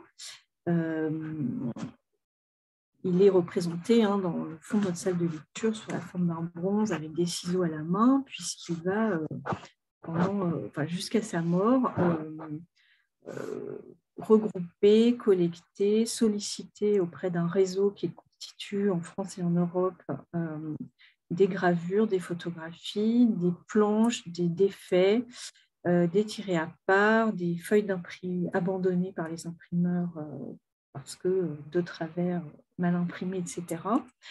Euh, on sait euh, qu'il achète aussi beaucoup, il ne se contente pas de ramasser tout ce qu'il trouve, il achète, il achète des, pièces parfois onéreuses. Et euh, comme le montrent les notes qui sont prises dans, certains de ses carnets, on voit qu'il a une, approche éclectique euh, du domaine, puisqu'il achète des peintures, des bronzes, des céramiques euh, occidentales, islamiques, asiatiques, des gravures, des dessins, des tapisseries. il a vraiment une, vision euh, très large pour lui, comme pour les musées auxquels il, il fait des dons, puisqu'il est mécène important pour plusieurs musées, évidemment pour les arts décoratifs. Donc, il se lance dans cette quête d'images euh, les organise et euh, pour revenir sur les types euh, de, pièces qui le regroupent, il abolit non seulement les, typologies de, iconographiques en faisant côtoyer cartes postales, photographies, étiquettes de produits divers, dessins, plans, éléments découpés dans des livres etc. Mais euh, par cette volonté, euh, par cette vision très large euh, de ce qui devrait être rassemblé dans cette collection, il met à égal niveau l'ensemble des types de production artistique ou de l'artisanat d'art des voilà donc c'est une vision quasi encyclopédique des objets euh, qu'il va contribuer à mettre en place. Son but, euh, c'est de poursuivre le, projet initial euh, de la bibliothèque, de constituer un, lieu de référence, un immense répertoire de formes. Et pour ce faire, il n'hésite pas à acheter parfois en double un certain nombre d'ouvrages pour en conserver un, quand même un sens du livre, quoi qu'on ait pu parfois en dire, euh, et permettre qu'un autre soit découpé pour euh, alimenter euh, ces, albums. alors, cette pratique nous permet parfois d'identifier les planches, puisque vous voyez par exemple ici des planches qui sont identifiées parce que bah, les livres, les publications existent par ailleurs dans leur ensemble. En revanche, le plus souvent, euh, les planches ressemblent à, ce type d'assemblage et donc on ne sait pas très bien euh, d'où ça sort. Donc là, on a la chance d'avoir euh, la première page du livre, mais pour les planches suivantes, ça n'est pas là. Euh, c'est vraiment un, esprit encyclopédique. Euh, on comptabilise en 1892, euh, pour vous donner un peu une, idée de, ce que représentent les collections de la bibliothèque, on est à peu près à 6 000 ouvrages en 1892, mais déjà 250 000 éléments, gravures, photographies dans, dans, ces albums et 90 000 dessins, 250 000 échantillons. Donc on voit que le livre, euh, finalement, euh, a une place, mais euh, qui, est beaucoup moins importante que, ce qu'elle est même aujourd'hui, mais ce qu'elle deviendra assez rapidement. Alors pourquoi? Parce que la bibliothèque, comme l'a expliqué Laure, est d'abord destinée aux artistes, aux petits artisans, et elle n'est pas formée pour les érudits ou pour les étudiants en histoire de l'art, je, cite. ce que Koechlin reformule lors de l'hommage à Jules Massier en 1912 devant l'Assemblée des Amis du Louvre, en précisant que Jules Massier tenait en matière d'art l'éducation de l'ivresse pour détestable. Il déclarait bien haut que ce qu'il savait, il savait prodigieusement de choses, ce n'était pas dans les livres qu'il avait appris, mais bien à ouvrir les yeux dans les expositions et dans les musées, à regarder des gravures et des photographies. Euh, et euh, Laure évoquait tout à l'heure euh, la volonté d'échapper à toute préoccupation bibliographique. C'est vraiment ce qui prédomine dans cette collection. Au point euh, que euh, Massier, euh,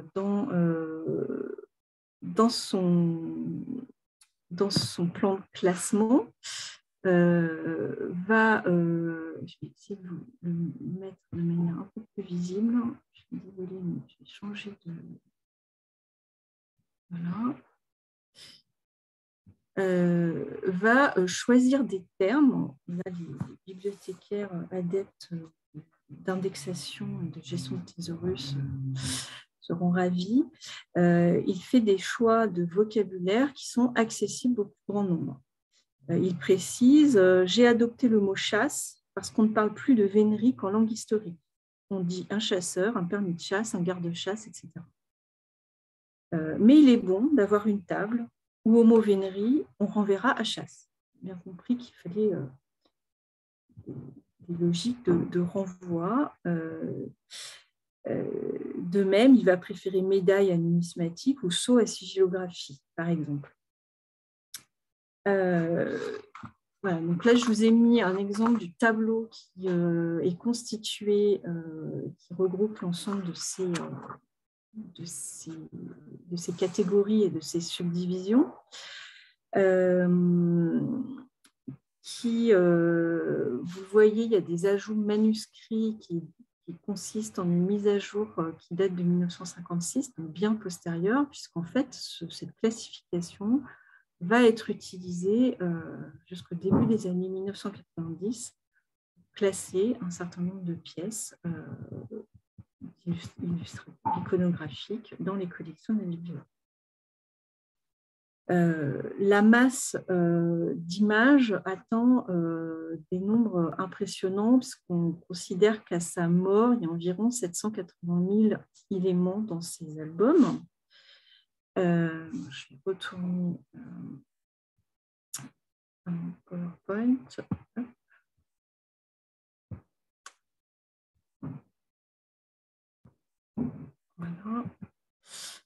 Pardon au point que euh, Charles Saunier, dans un article de la revue Le Dessin en janvier 31, souligne une réalisation certes séduisante, mais met en garde le curieux contre le risque d'être écrasé et un peu perdu par cette masse. Euh, et euh, c'est quelque chose qui va revenir assez régulièrement dans les commentaires sur la bibliothèque, sur cette collection en particulier au fil, au fil du temps. Ce qui est intéressant de noter, c'est qu'à la même époque, il y a tout un phénomène de réflexion sur la classification au sein de l'institution, euh, une problématique de catégorisation euh, des objets, en fait, euh, et ce faisant, de catégorisation de la production en matière d'art décoratif. je cite ici un extrait du rapport de la commission du musée au conseil d'administration Germain Bax au milieu des années 1880, qui a mené une réflexion sur une classification des objets euh, par matériaux, par technique, euh, qui était, euh, donc là vous voyez dans ce, tableau, si on prend la première classe dédiée au bois, à chaque fois une première subdivision dédiée à la matière elle-même, euh, ensuite, des subdivisions qui sont euh, plutôt en lien avec des, techniques appliquées à cette matière. Et enfin, des types d'objets euh, constitués ou de production constitués dans cette matière.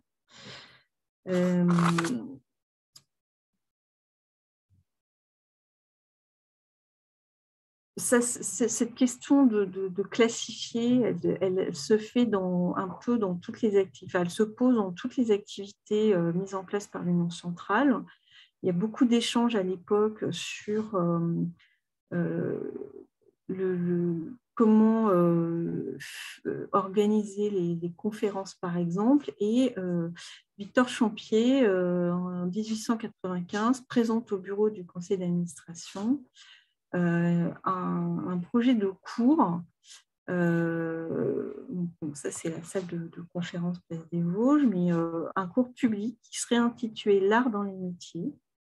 donc Champier est directeur de la revue des arts décoratifs et il tente de, structurer en fait les programmes de conférences.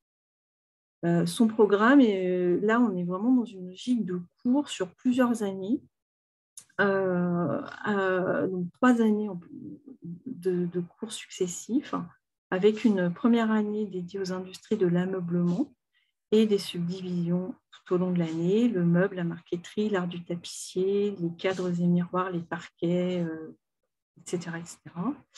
Une deuxième année consacrée aux métaux, euh, fer, fonte, cuivre, zinc, bronze, orfèvrerie, bijouterie.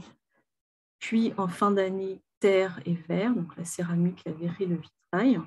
Et enfin, en troisième année, euh, l'industrie du vêtement, avec euh, des cours sur les étoffes, les lingeries, les dentelles, les broderies, les boutons, les coiffures. Alors, la liste est extrêmement longue.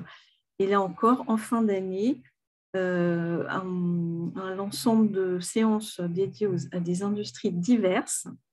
Et on voit, on revient à la question de cette vision très large qui, été euh, porté euh, par la collection iconographique, puisque dans ces industries, on parle d'instruments de musique, de tabletterie, de coutellerie, de vannerie, de jouets, de reliures, de décors de théâtre, de typographie, etc.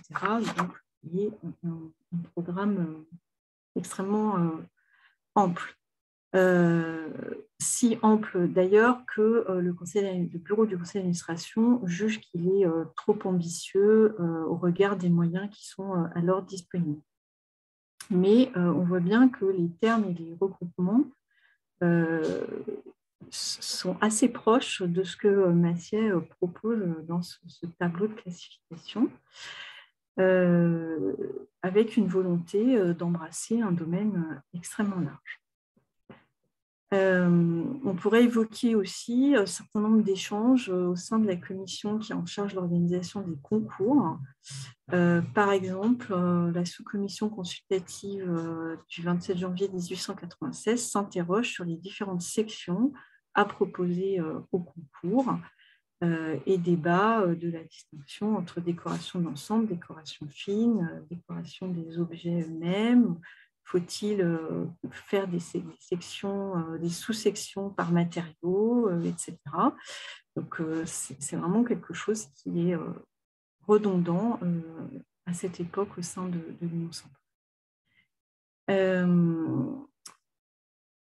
si, je reviens à la question de l'organisation des objets au sein du musée, assez rapidement, euh, ce type de classification va se heurter euh, à des principes de réalité, notamment des problèmes d'espace, mais aussi à une conception plus classique du parcours à proposer. Et finalement, si on avance un petit peu dans le temps, je vous ai mis ici, c'est une septième édition. Hein, en 1908, ce, guide sommaire à travers les arts décoratifs euh, donc avec un plan, euh, c'est un, guide sommaire mais assez conséquent, euh, où on voit finalement ce qui va prédominer, c'est une organisation chronologique. Et je vous ai mis qu'une double page, mais j'aurais pu en mettre beaucoup, où on voit des, voilà, des salles, Régence 2015, Régence, etc. finalement, une présentation. Alors, dans tout ça, euh, ces, classements, euh, vous les, vous, voyez ici, ils ont parfois été adaptés pour Je vous ai beaucoup parlé de la collection iconographique, parfois adaptée aux ouvrages. Il y a à droite la section ameublement des ouvrages. Mais finalement, les, les, ouvrages, comme le dit Laure, on a assez peu de visibilité sur leur organisation. on sait que au moment où la bibliothèque va déménager, ils sont déjà organisés par format. Euh, et on sait aussi, grâce au registre d'inventaire, qu'en 1897 euh, commence euh, sont créées d'autres, un certain nombre de séries. donc, jusqu'à la fin 1896, on a uniquement des numéros d'entrée. Vous voyez dans la colonne la plus à gauche, 62, 69, 72, 70, etc. Et à partir de 1897, on voit apparaître un certain nombre de, séries, JJ10, euh, Joséphine agrandissement parce qu'on ne voit pas très bien, euh, P4, R62, P278. Quand il est inscrit collection, euh, c'est la collection iconographique. il y a pendant longtemps cette organisation par format, et puis plus tard, vont réapparaître des séries euh, consacrées à des typologies et notamment en 1929 la création d'une série dédiée au catalogue de vente. Laure a indiqué euh, euh, tout à l'heure que c'était des, des, types de documents qui arrivaient un peu plus tardivement à la bibliothèque. ils arrivent tant et si bien qu'une série va leur être consacrée entièrement.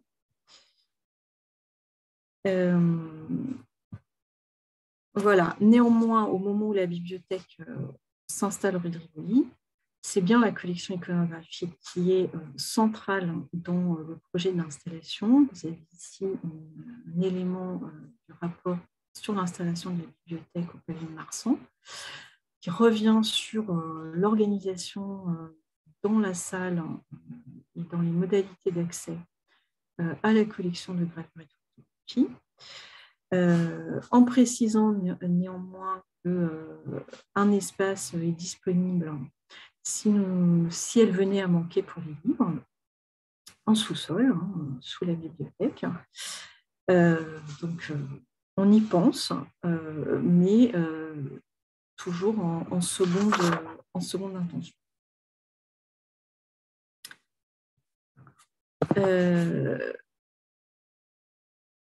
Laure va revenir euh, au moment de l'installation euh, rue de Rivoli euh, sur ce qui change dans les, équipes et sur le fonctionnement de la bibliothèque. Simplement, c'est important de signaler qu'il y a un vrai changement à ce moment-là. Le rapport d'activité au conseil d'administration 1905, après cette félicité du bon déroulement du déménagement, euh, va être l'occasion euh, de euh, préciser un projet de catalogue général des collections de la bibliothèque. Laure vous a présenté une série d'outils qui ont été constitués au fil du temps, mais pas de catalogue général en fait. Euh, ce, travail va prendre un certain temps, puisque euh, ça va prendre un certain nombre d'années. Massier va travailler sur ce, projet de catalogue. Alors, c'est forcément très lisible, mais euh, le plan général du catalogue consiste d'un premier volume avec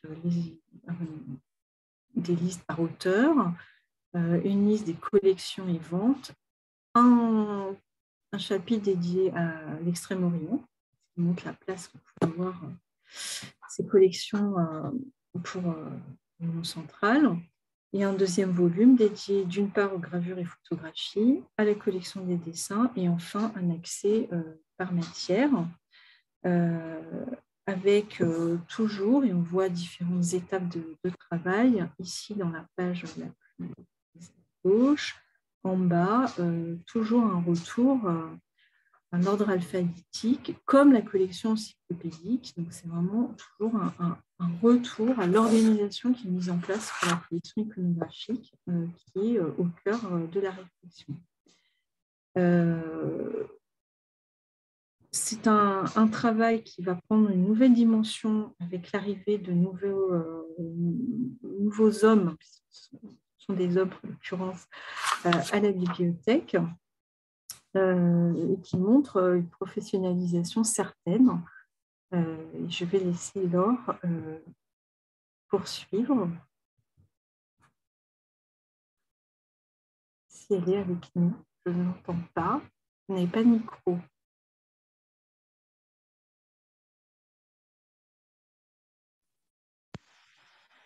Ok, c'est bon, j'ai tout activé.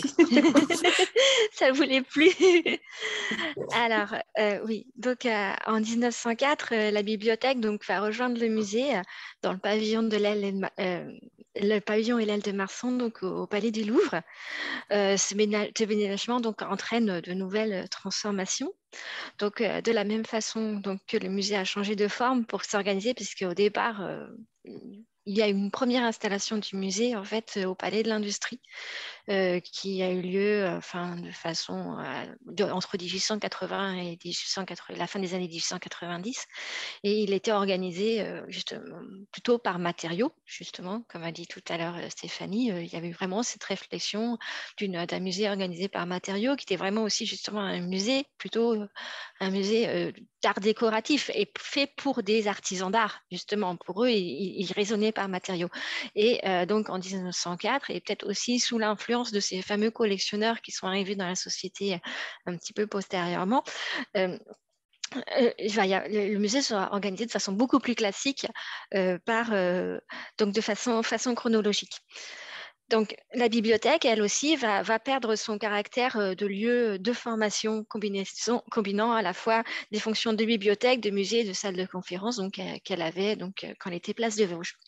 Elle va mettre donc les livres en magasin, puisque vous l'avez vu sur la photo que je vous ai montrée tout à l'heure, les livres étaient tapissés la salle de lecture, donc les, gens, au minimum, s'ils ne pouvaient pas avoir d'instruments de recherche, pour au moins voir où était ce, que la bibliothèque pouvait proposer. Là, maintenant, les, livres vont être donc en magasin loin du, euh, du regard des lecteurs, donc reclassé et côté par taille, donc euh, cette fameuse cotation alphanumérique avec donc une lettre et complétée ensuite euh, par un chiffre. Et donc, ça va être la collection iconographique qui va se déployer sur la salle de lecture. Donc là, vous la voyez tout autour euh, de Jules Massier et de, du, conservateur de l'époque, qui est donc Léon Dière. Tout à l'heure, euh, euh, Marianne en a parlé. Ce déménagement va être accompagné par un changement de public. La bibliothèque donc, quitte euh, la fabrique où elle était, donc euh, euh, ce fameux lieu à proximité des artisans d'art, pour le quartier qui est le quartier du musée, des écoles, du commerce de l'art et aussi de la mode, hein, puisque tout à l'heure on a bien dit que ben, Jacques Doucet était installé rue de la Paix. La rue de la Paix, c'est vraiment pas très loin de la rue de Rivoli. Le nombre de lecteurs va augmenter de façon assez spectaculaire, puisque de 33 lecteurs en 1904, au moment, enfin, euh, oui, en 1904, au moment de donc 33 lecteurs par jour et non pas par année. Il va atteindre 113 lecteurs par jour en 1908, donc vraiment, euh, ça va être multiplié par 4 en 4 ans quasiment.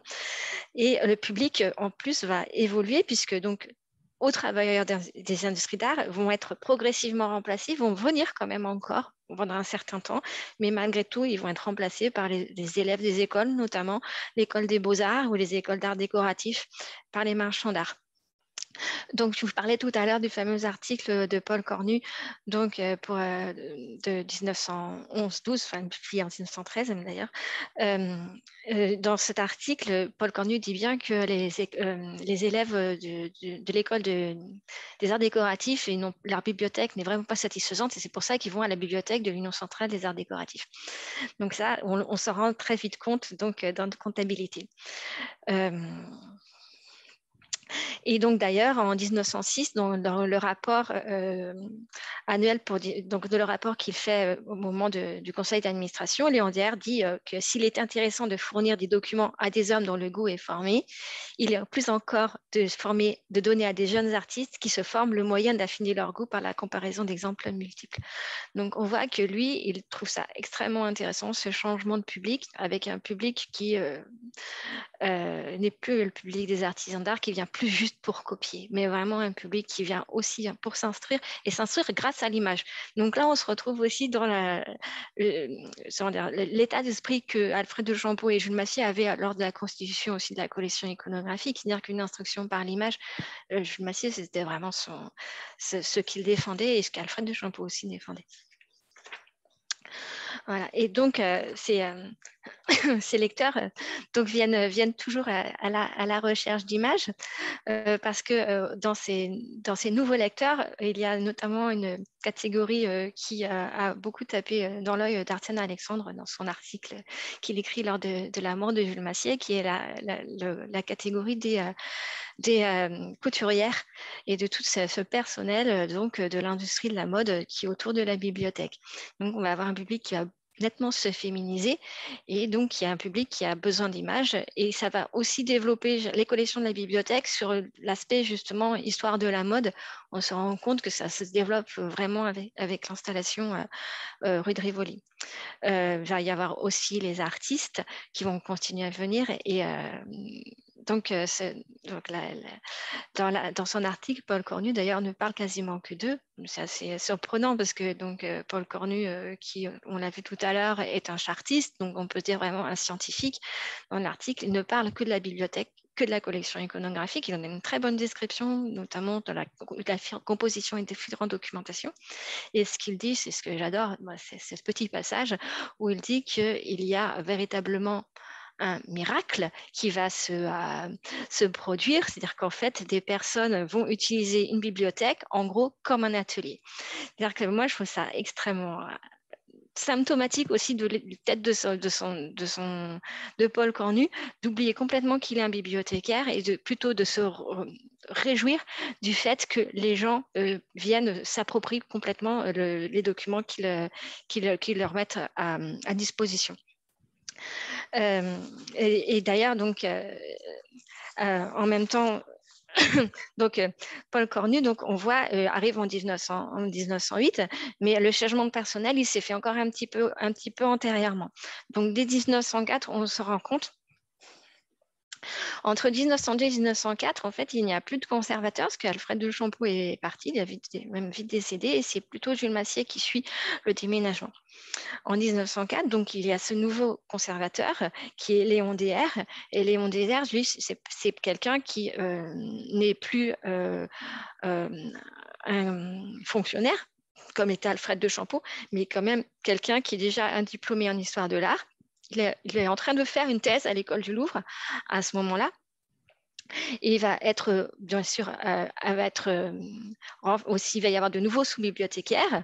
Au même moment, l'équipe est vraiment renforcée pour euh, cette ouverture à rue de Rivoli, avec donc bon, quelqu'un qui, qui, est plutôt de l'ancien type euh, du personnel de la bibliothèque, en fait, ce qui est Monsieur Petit de Manche, qui est un ancien dessinateur pour étoffe, mais qui vient aussi justement parce qu'il peut donner ce conseil pour les, différents dessinateurs et où trouver les sources d'inspiration. Et il y a bien sûr René Jean, donc ce fameux petit cousin de Jules Massier, donc qui est déjà critique d'art, et on le voit euh, euh, dans le rapport d'activité.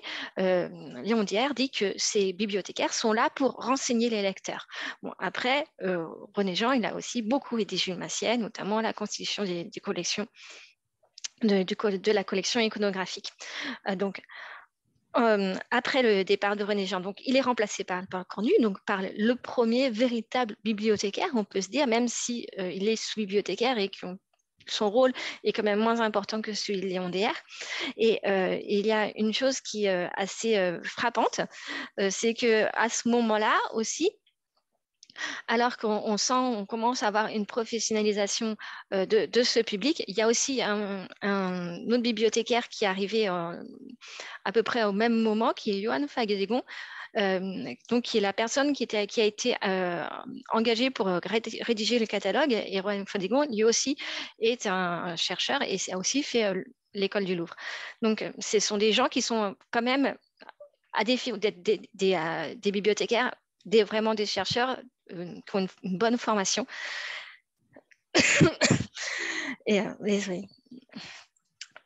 euh, Donc en 1908, avec l'arrivée de, Paul Cornu, dans le, toujours ce, fameux rapport d'activité lors du conseil d'administration, il va être mis pour la première fois en valeur les publications des membres de la société. Ça va être fait pendant deux ans. Donc, moi, je me pose aussi la question en lisant, quand j'ai vu ça, s'il n'y a pas de la même façon qu'en sachant que euh, la collection iconographique, elle a été vraiment mise en place au moment de la fondation, euh, très, très postérieurement à la, la, fondation de la bibliothèque Fournay. Là, on a la le projet de la bibliothèque euh, de Jacques Doucet. Et au même moment, il y a une mise en valeur des publications des membres de la société. Dans le rapport donc, publié dans l'annuaire, on voit que Léon DR euh, donc, euh, cite les, les, différents membres du conseil d'administration. Donc, vous avez Henri Bouillet, Henri Weber, Raymond Queclin qui ont publié, le personnel scientifique, donc Louis Metman, Jean-Louis Vaudeyer, et aussi même le personnel bibliothèque, donc René Jean, Paul Cornu et Léon DR publient. Donc là, on, a vraiment cette impression que euh, Léon DR veut vraiment asseoir le personnel de la bibliothèque comme un personnel scientifique qui euh, et que le même tous les membres de la société qui vont vraiment euh, participer à la recherche en art et à son évolution. Et donc, cela montre vraiment cette professionnalisation et un certain aboutissement d'une bibliothèque qui au, départ et pendant très longtemps était vraiment perçu que comme un, lieu qui est une source d'inspiration, là, enfin, on, se rend vraiment compte qu'on est vraiment à l'articulation euh, que la bibliothécaire, la bibliothèque du musée des arts décoratifs, l'Union centrale des arts décoratifs plutôt, devient, va commencer à devenir une véritable bibliothèque de recherche. Euh, voilà, je vais terminer ma présentation. Je laisse donc maintenant euh, la parole à Jérôme.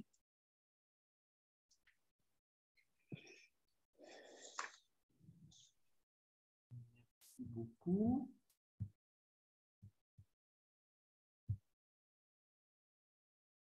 Alors, bonsoir à toutes et à tous.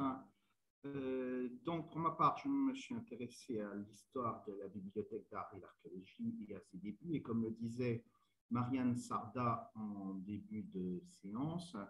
Nous avons un problème euh, avec l'histoire de la bibliothèque d'archéologie avant 1918, dans la mesure où nous avons extrêmement peu d'archives pour euh, documenter son, activité. Et, euh, donc, personnellement, je me suis particulièrement intéressé à l'aspect matériel, au fonctionnement quotidien de la bibliothèque. Je me suis demandé par quels moyens en l'absence quasi complète d'archives, très peu d'archives écrites, pas de photos, comment on pouvait essayer de reconstituer euh, ce que pouvait être la bibliothèque euh, avant 1918.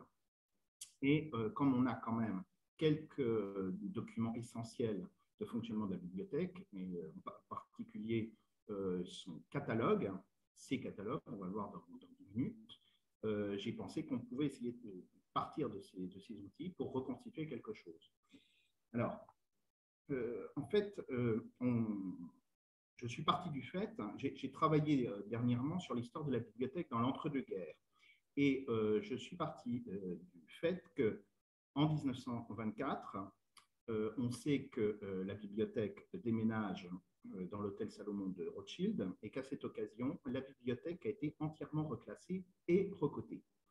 Euh, ce qui veut dire qu'il existait déjà une cotation quelconque avant cette date, sachant que jusqu'ici, euh, l'existence de ces cotations et leur nature étaient totalement inconnues. Donc, question. Euh, vous avez ici un document des années 30 qui montre le classement qui a été mis en place à partir de 1923-1924, pardon, donc à partir du moment où la bibliothèque se trouvait à l'hôtel Salomon de Rothschild.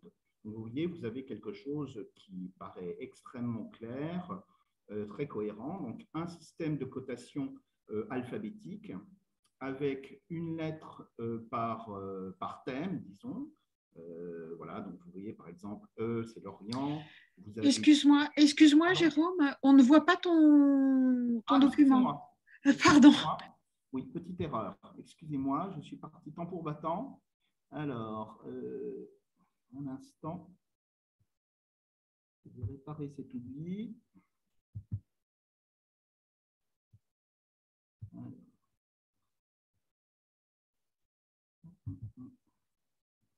je ne vois pas ma.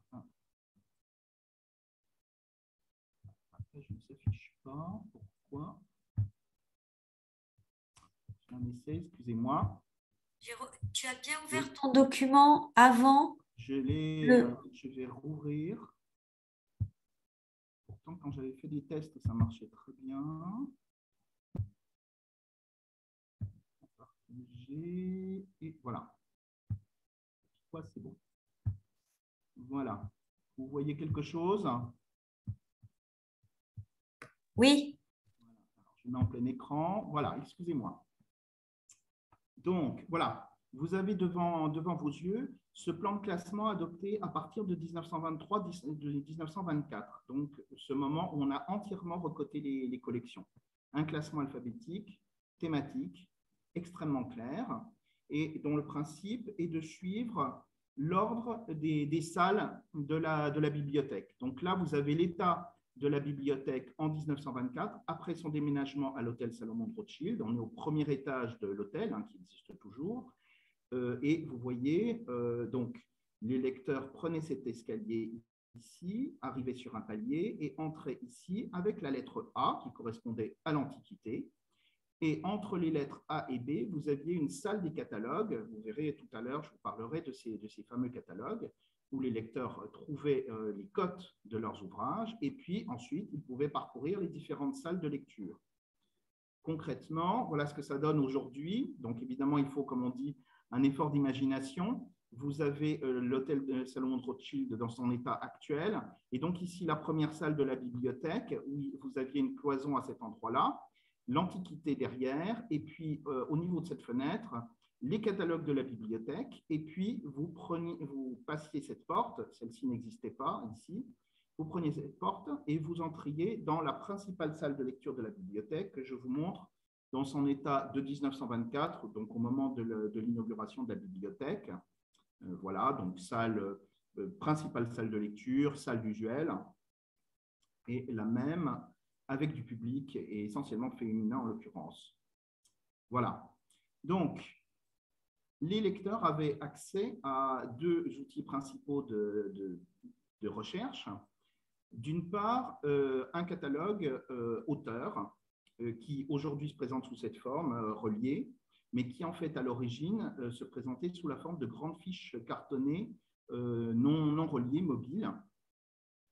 donc là, je vous ai mis par exemple, je peux agrandir un petit peu, donc l'affiche de Karl Bedecker, hein, qui est bien connu pour ses, manuels, euh, ses guides de voyage. Vous avez, vous voyez, les notices bibliographiques euh, au centre.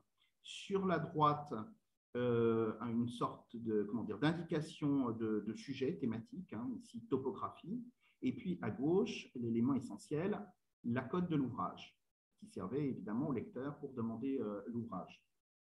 Alors c'était un catalogue qui était euh, auteur et anonyme, bien sûr. Donc, pour les ouvrages anonymes, vous avez euh, des fiches euh, plus ou moins par sujet. les sujets ne sont pas toujours très, très bien construits, mais là, vous avez notamment une ville et vous avez des, des fiches par ville qui sont assez fournies. voilà, donc vous avez la même organisation avec, encore une fois, les cotes à gauche qui vont nous servir pour, pour la suite. Outre le, catalogue euh, auteur, la bibliothèque avait un catalogue par sujet euh, extrêmement élaboré qui comportait des, qui, était, euh, qui se présentait sous la forme de, casiers, vous voyez, avec des fiches, des fiches mobiles. Il y en avait, lorsque ce système a été abandonné, il existe à peu près une centaine de, de ces casiers. Et là, vous avez le casier qui correspond à l'archéologie gallo-romaine, et donc, là encore, pour les lecteurs, au verso de ces fiches, vous aviez la cote de l'ouvrage. Ces deux outils de travail étaient absolument essentiels pour la bibliothèque et je dirais encore plus euh, le catalogue auteur qui était vraiment mis à jour extrêmement régulièrement par le personnel de la bibliothèque. Euh, donc c'est un instrument extrêmement précieux pour reconstituer l'histoire très ancienne de la bibliothèque, puisqu'on voit vraiment la bibliothèque en train de se constituer et de s'enrichir et de se modifier aussi, et notamment au niveau des cotes qui vont évoluer très rapidement, comme vous allez le voir euh, à présent.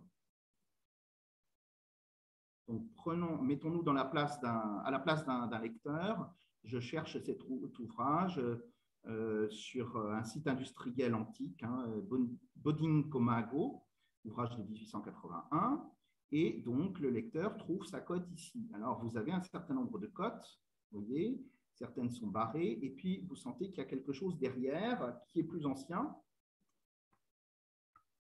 Vous voyez Mais difficile de savoir ce que c'est. Et évidemment, c'est ça qui nous intéresse particulièrement euh, aujourd'hui. Alors, par chance, euh, la plupart de ces livres, bien sûr, sont toujours dans nos collections actuellement, et donc on peut espérer trouver des indices sur les livres eux-mêmes, ce que j'ai fait. Donc, voilà le fameux livre sur Bodin Comago, et on peut analyser la page euh, de titre.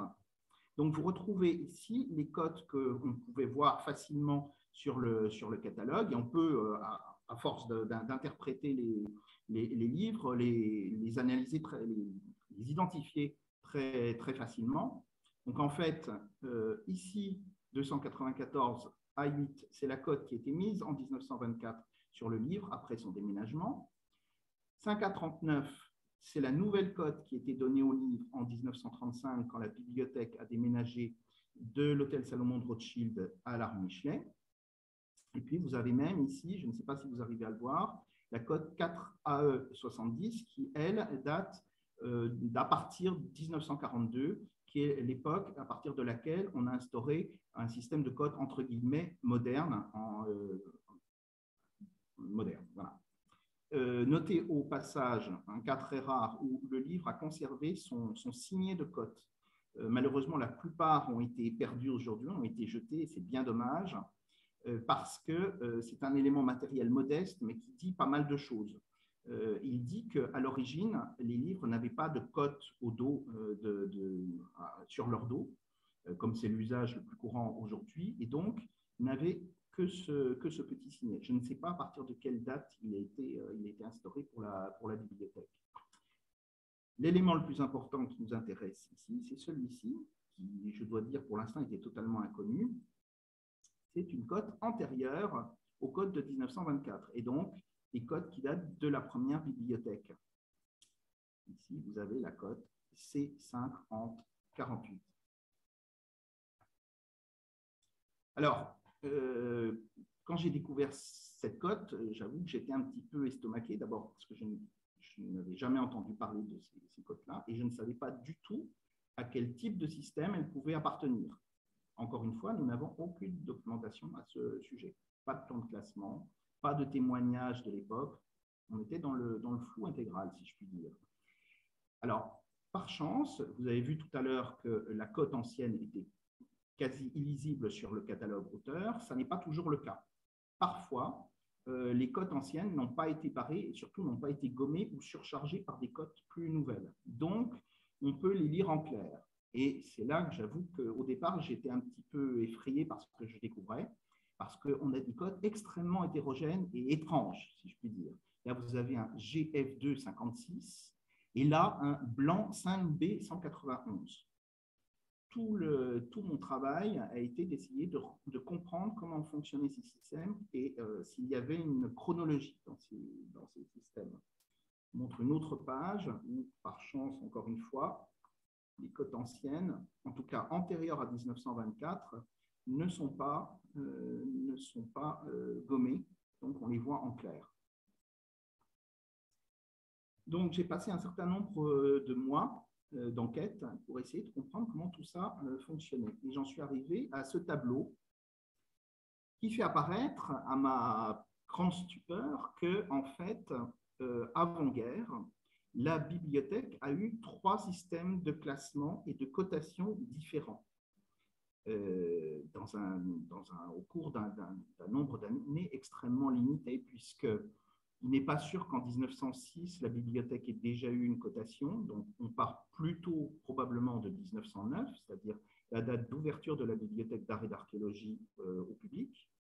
Et euh, après 1914, il n'y a plus de personnel, presque plus de personnel qui travaille à la bibliothèque. La bibliothèque est quasi fermée. Donc, on peut dire qu'entre 1909 et 1914, la bibliothèque a changé trois fois de système de cotation. J'avoue que j'ai rarement vu un cas de, cette nature. Alors, si on regarde ces systèmes de cotation, euh, le premier que j'ai intitulé Spontini 1, pour l'instant, j'ai beaucoup de mal à l'interpréter. Il me paraît extrêmement étrange. Vous avez deux, codes principaux apparemment, G et J. Et pour la code G, elle se décline en GB, GC, GD, etc. Avec des trous d'ailleurs. Euh, on passe apparemment de G à I. Et euh, la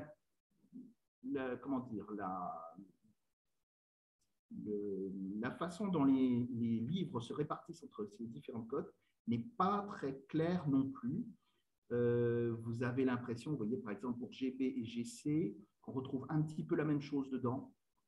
Euh, et donc, vous avez les villes en GP, vous avez les villes en GC, et puis quand vous regardez la code J, vous avez aussi des villes. Tout ça n'a pas l'air extrêmement clair. C'est le premier système. Un deuxième système apparaît, donc qui surcharge en général les codes du, premier. Et alors là, deuxième surprise, vous avez des codes euh, sous forme de couleurs. Alors là non plus, euh, je ne connais pas d'autres exemples de, cet usage euh, très étrange et je ne sais pas d'où viennent ces couleurs. Est-ce que ce sont des couleurs de salle? Pourquoi pas?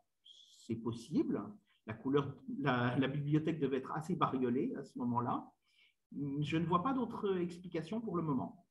En tout cas, c'est un système intéressant parce qu'on voit que déjà, comment dire, la, bibliothèque se structure. Excusez-moi, j'essaie d'enlever ceci. Voilà. Euh, vous voyez des véritables corpus qui apparaissent. Autant ici, les choses étaient encore assez floues. Euh, au niveau de cette seconde cotation, les choses décantent et on voit des corpus qui ressemblent déjà un petit peu à ce qu'on connaît de la bibliothèque d'art et d'archéologie. Vous avez notamment la cote gris qui correspond en fait aux ouvrages de réserve. Euh, nos fameux livres de fête, qui sont très connus, nos livres d'ornement, euh, sans doute aussi tout le fond des, livres d'architecture anciens, se trouve dans cette code gris. Donc, il y a une code réserve en fait qui apparaît. Vous avez des corpus aussi assez typiques de la bibliothèque d'archéologie, comme le blanc, autour des techniques, autour des métiers, qui apparaît. Euh, vous avez la code vert qui correspond aux monographies d'artistes qui est aussi vraiment un pilier de la, bibliothèque, euh, qui est la code D aujourd'hui, euh, par exemple.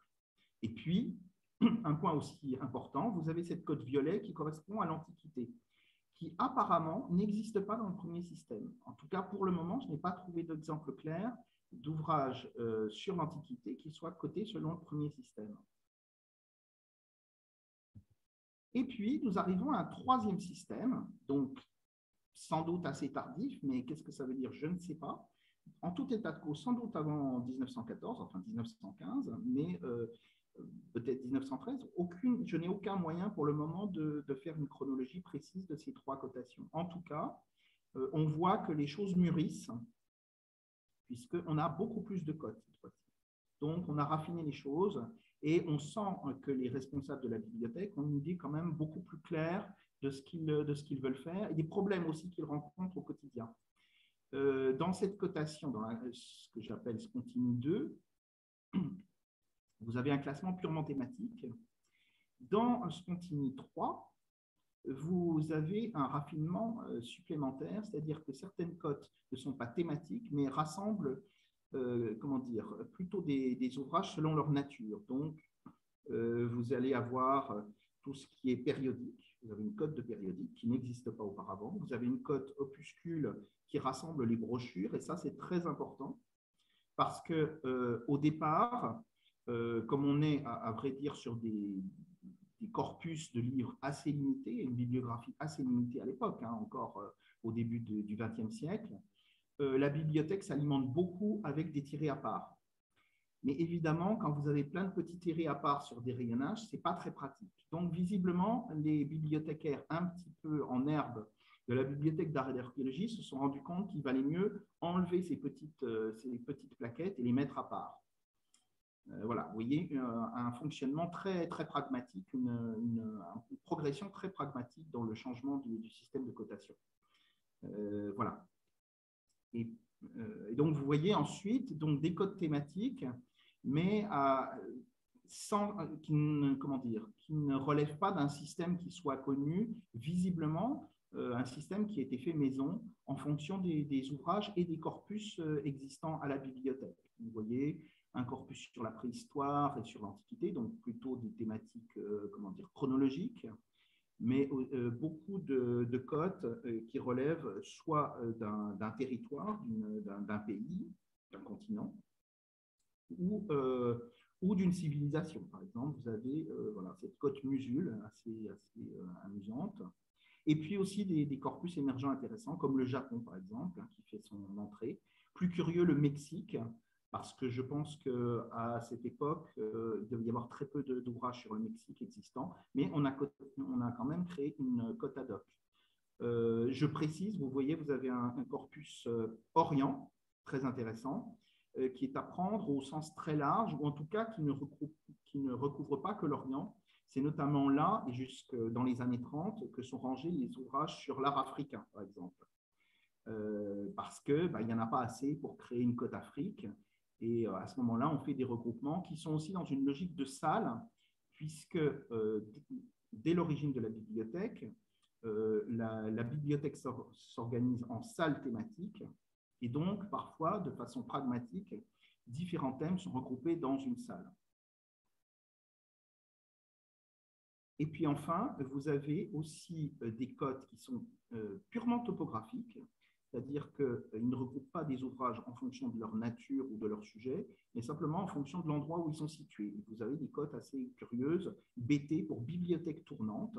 Donc en fait, vous voyez ce que ça peut être, hein. c'est en fait une armoire montée sur un axe et qui, tourne. voilà. Et vous avez cette code cool qui m'a posé pas mal de problèmes au départ parce que je ne voyais pas du tout ce que ça pouvait être couleur peut-être, mais les ouvrages ne correspondaient pas à une question de couleur. Et en fait, je pense que c'est couloir tout simplement parce que effectivement, on le sait, il y avait beaucoup d'ouvrages qui s'entassaient dans les couloirs de la bibliothèque euh, parce que la bibliothèque au départ manquait de place. Et donc voilà, vous aviez une code couloir pour tous les ouvrages qui s'entassaient dans les, dans les couloirs et qui étaient en général notamment des périodiques qui évidemment prenaient beaucoup de place.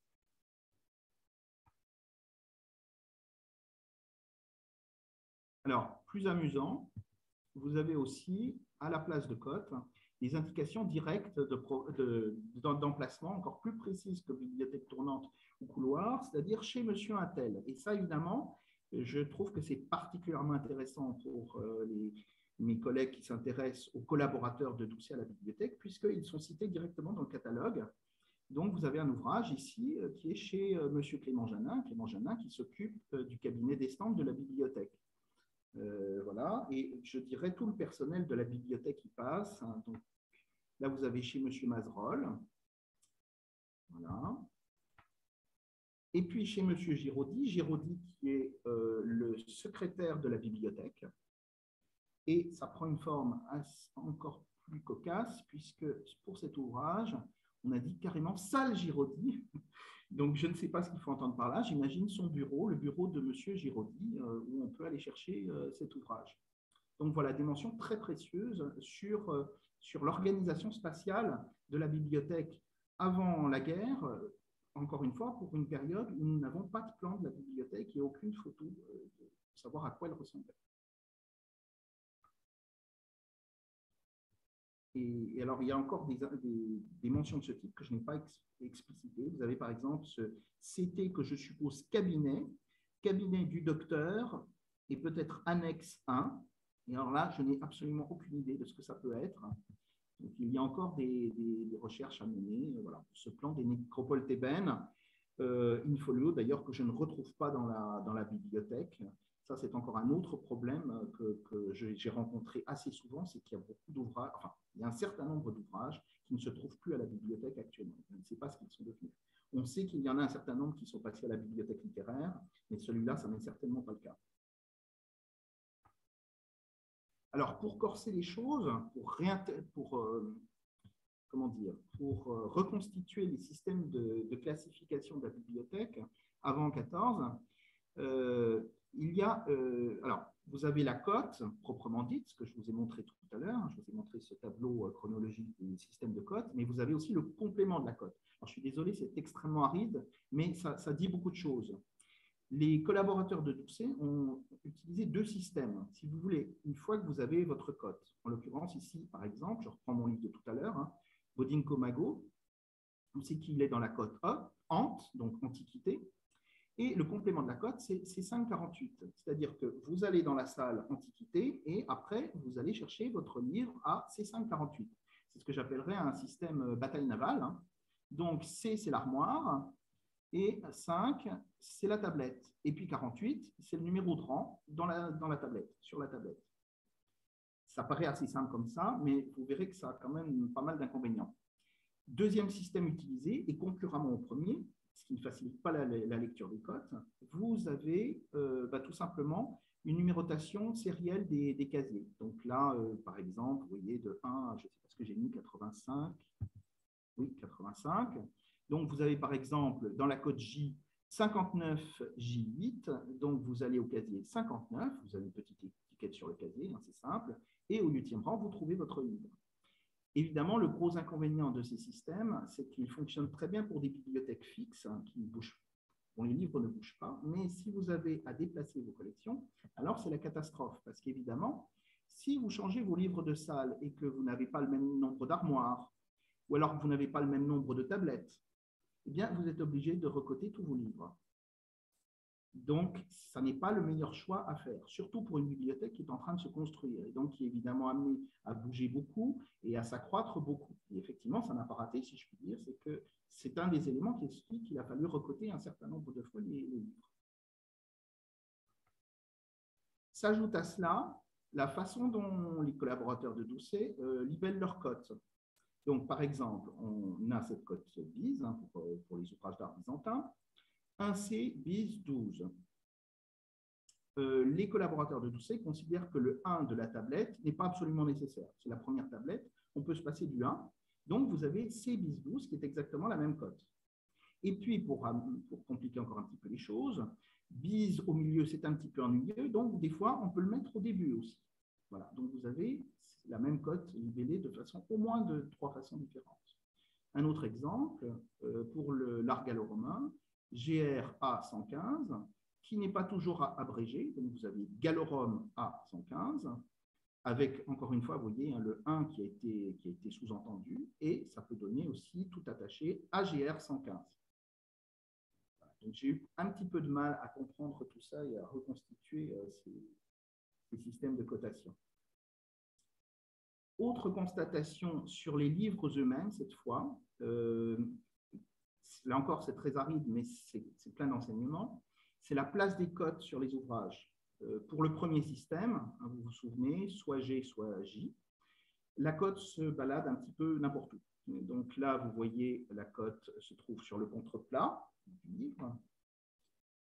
Ici, alors excusez-moi, avec le bandeau de partage, je ne vois pas où elle est, mais je crois qu'elle est en haut. Voilà, vous avez la cote ici. Donc ici, sur la page de faux titres, et puis, autre exemple, ici, la cote se trouve sur la page de titre. Et on peut faire la même constatation euh, pour tous les systèmes de, cotation. Euh, ça change euh, allègrement.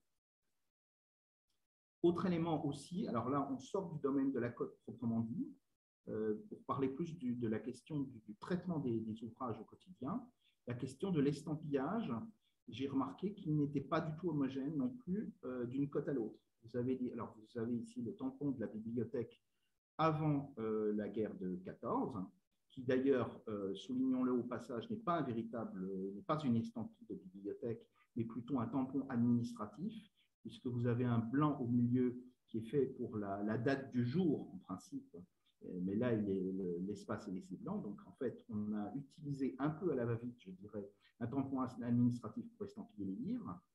Et d'ailleurs, l'estampillage était tellement erratique que, on le sait, ça s'est documenté, euh, à partir de 1924, il a fallu faire un gros rattrapage d'estampillage et vous avez cette nouvelle estampille euh, rouge et rond qui été créée exprès pour, euh, pour cela.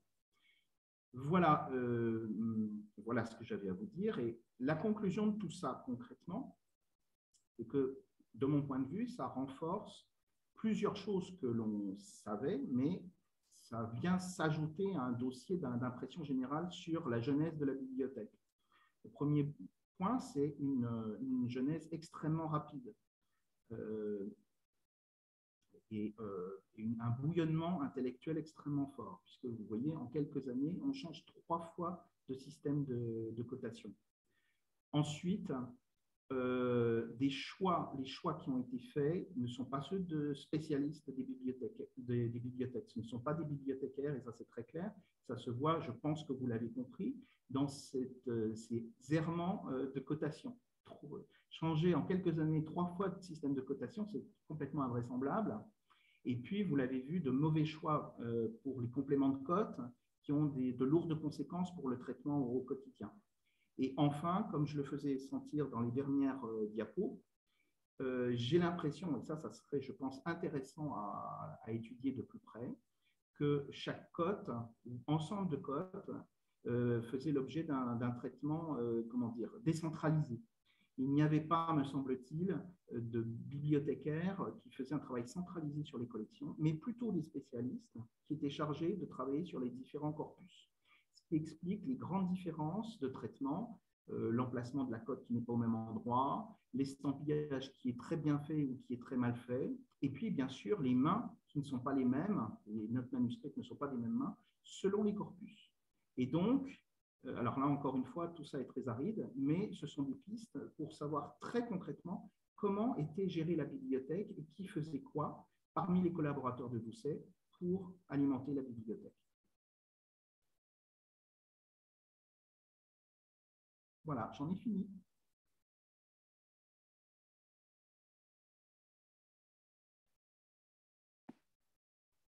Ben, merci beaucoup. Euh, je laisse à Sophie me dire s'il y a des questions de la part de, nos, de notre public. Pour l'instant, aucune.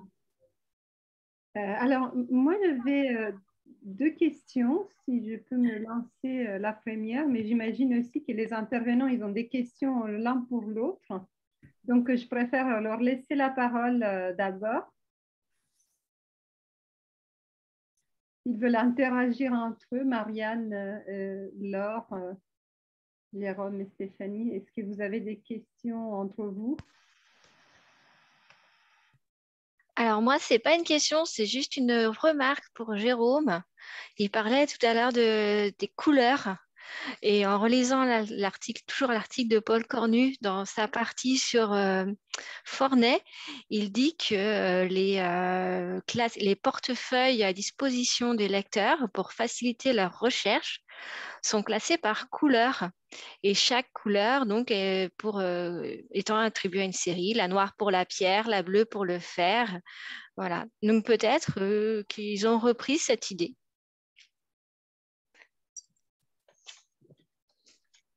Merci pour cette piste.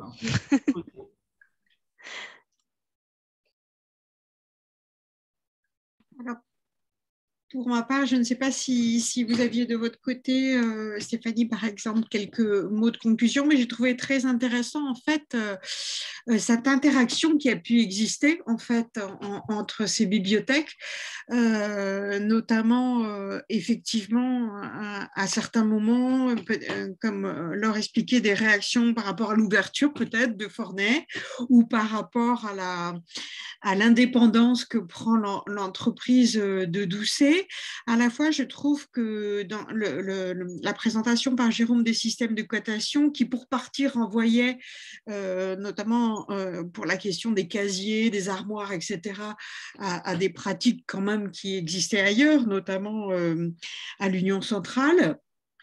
Euh, je trouve, a été très intéressante parce qu'on voit bien qu'il y, a quand même un premier temps de cette bibliothèque qui sont un peu des balbutiements en fait. Euh, euh, très clairement, ce premier système est, très bizarre. Il ne comprend pas l'archéologie d'ailleurs, où on ne pense pas, parce qu'il y a un autre témoignage de 1907 aussi, mais, mais dans la presse, donc qui n'a pas la même fiabilité que celui de Gustave Dreyfus, mais où on apprend que Doucet constitue une bibliothèque sur tous les articles du 19e siècle. Donc, euh, bon, voilà, ça. Euh, mais en tout cas, dans, dans la première entreprise, il n'y a pas l'archéologie c'est clair. Et, donc je trouve que c'est très intéressant, même si on ne peut pas dater ces systèmes de cotation, quand même de constater qu'il y a certains balbutiements.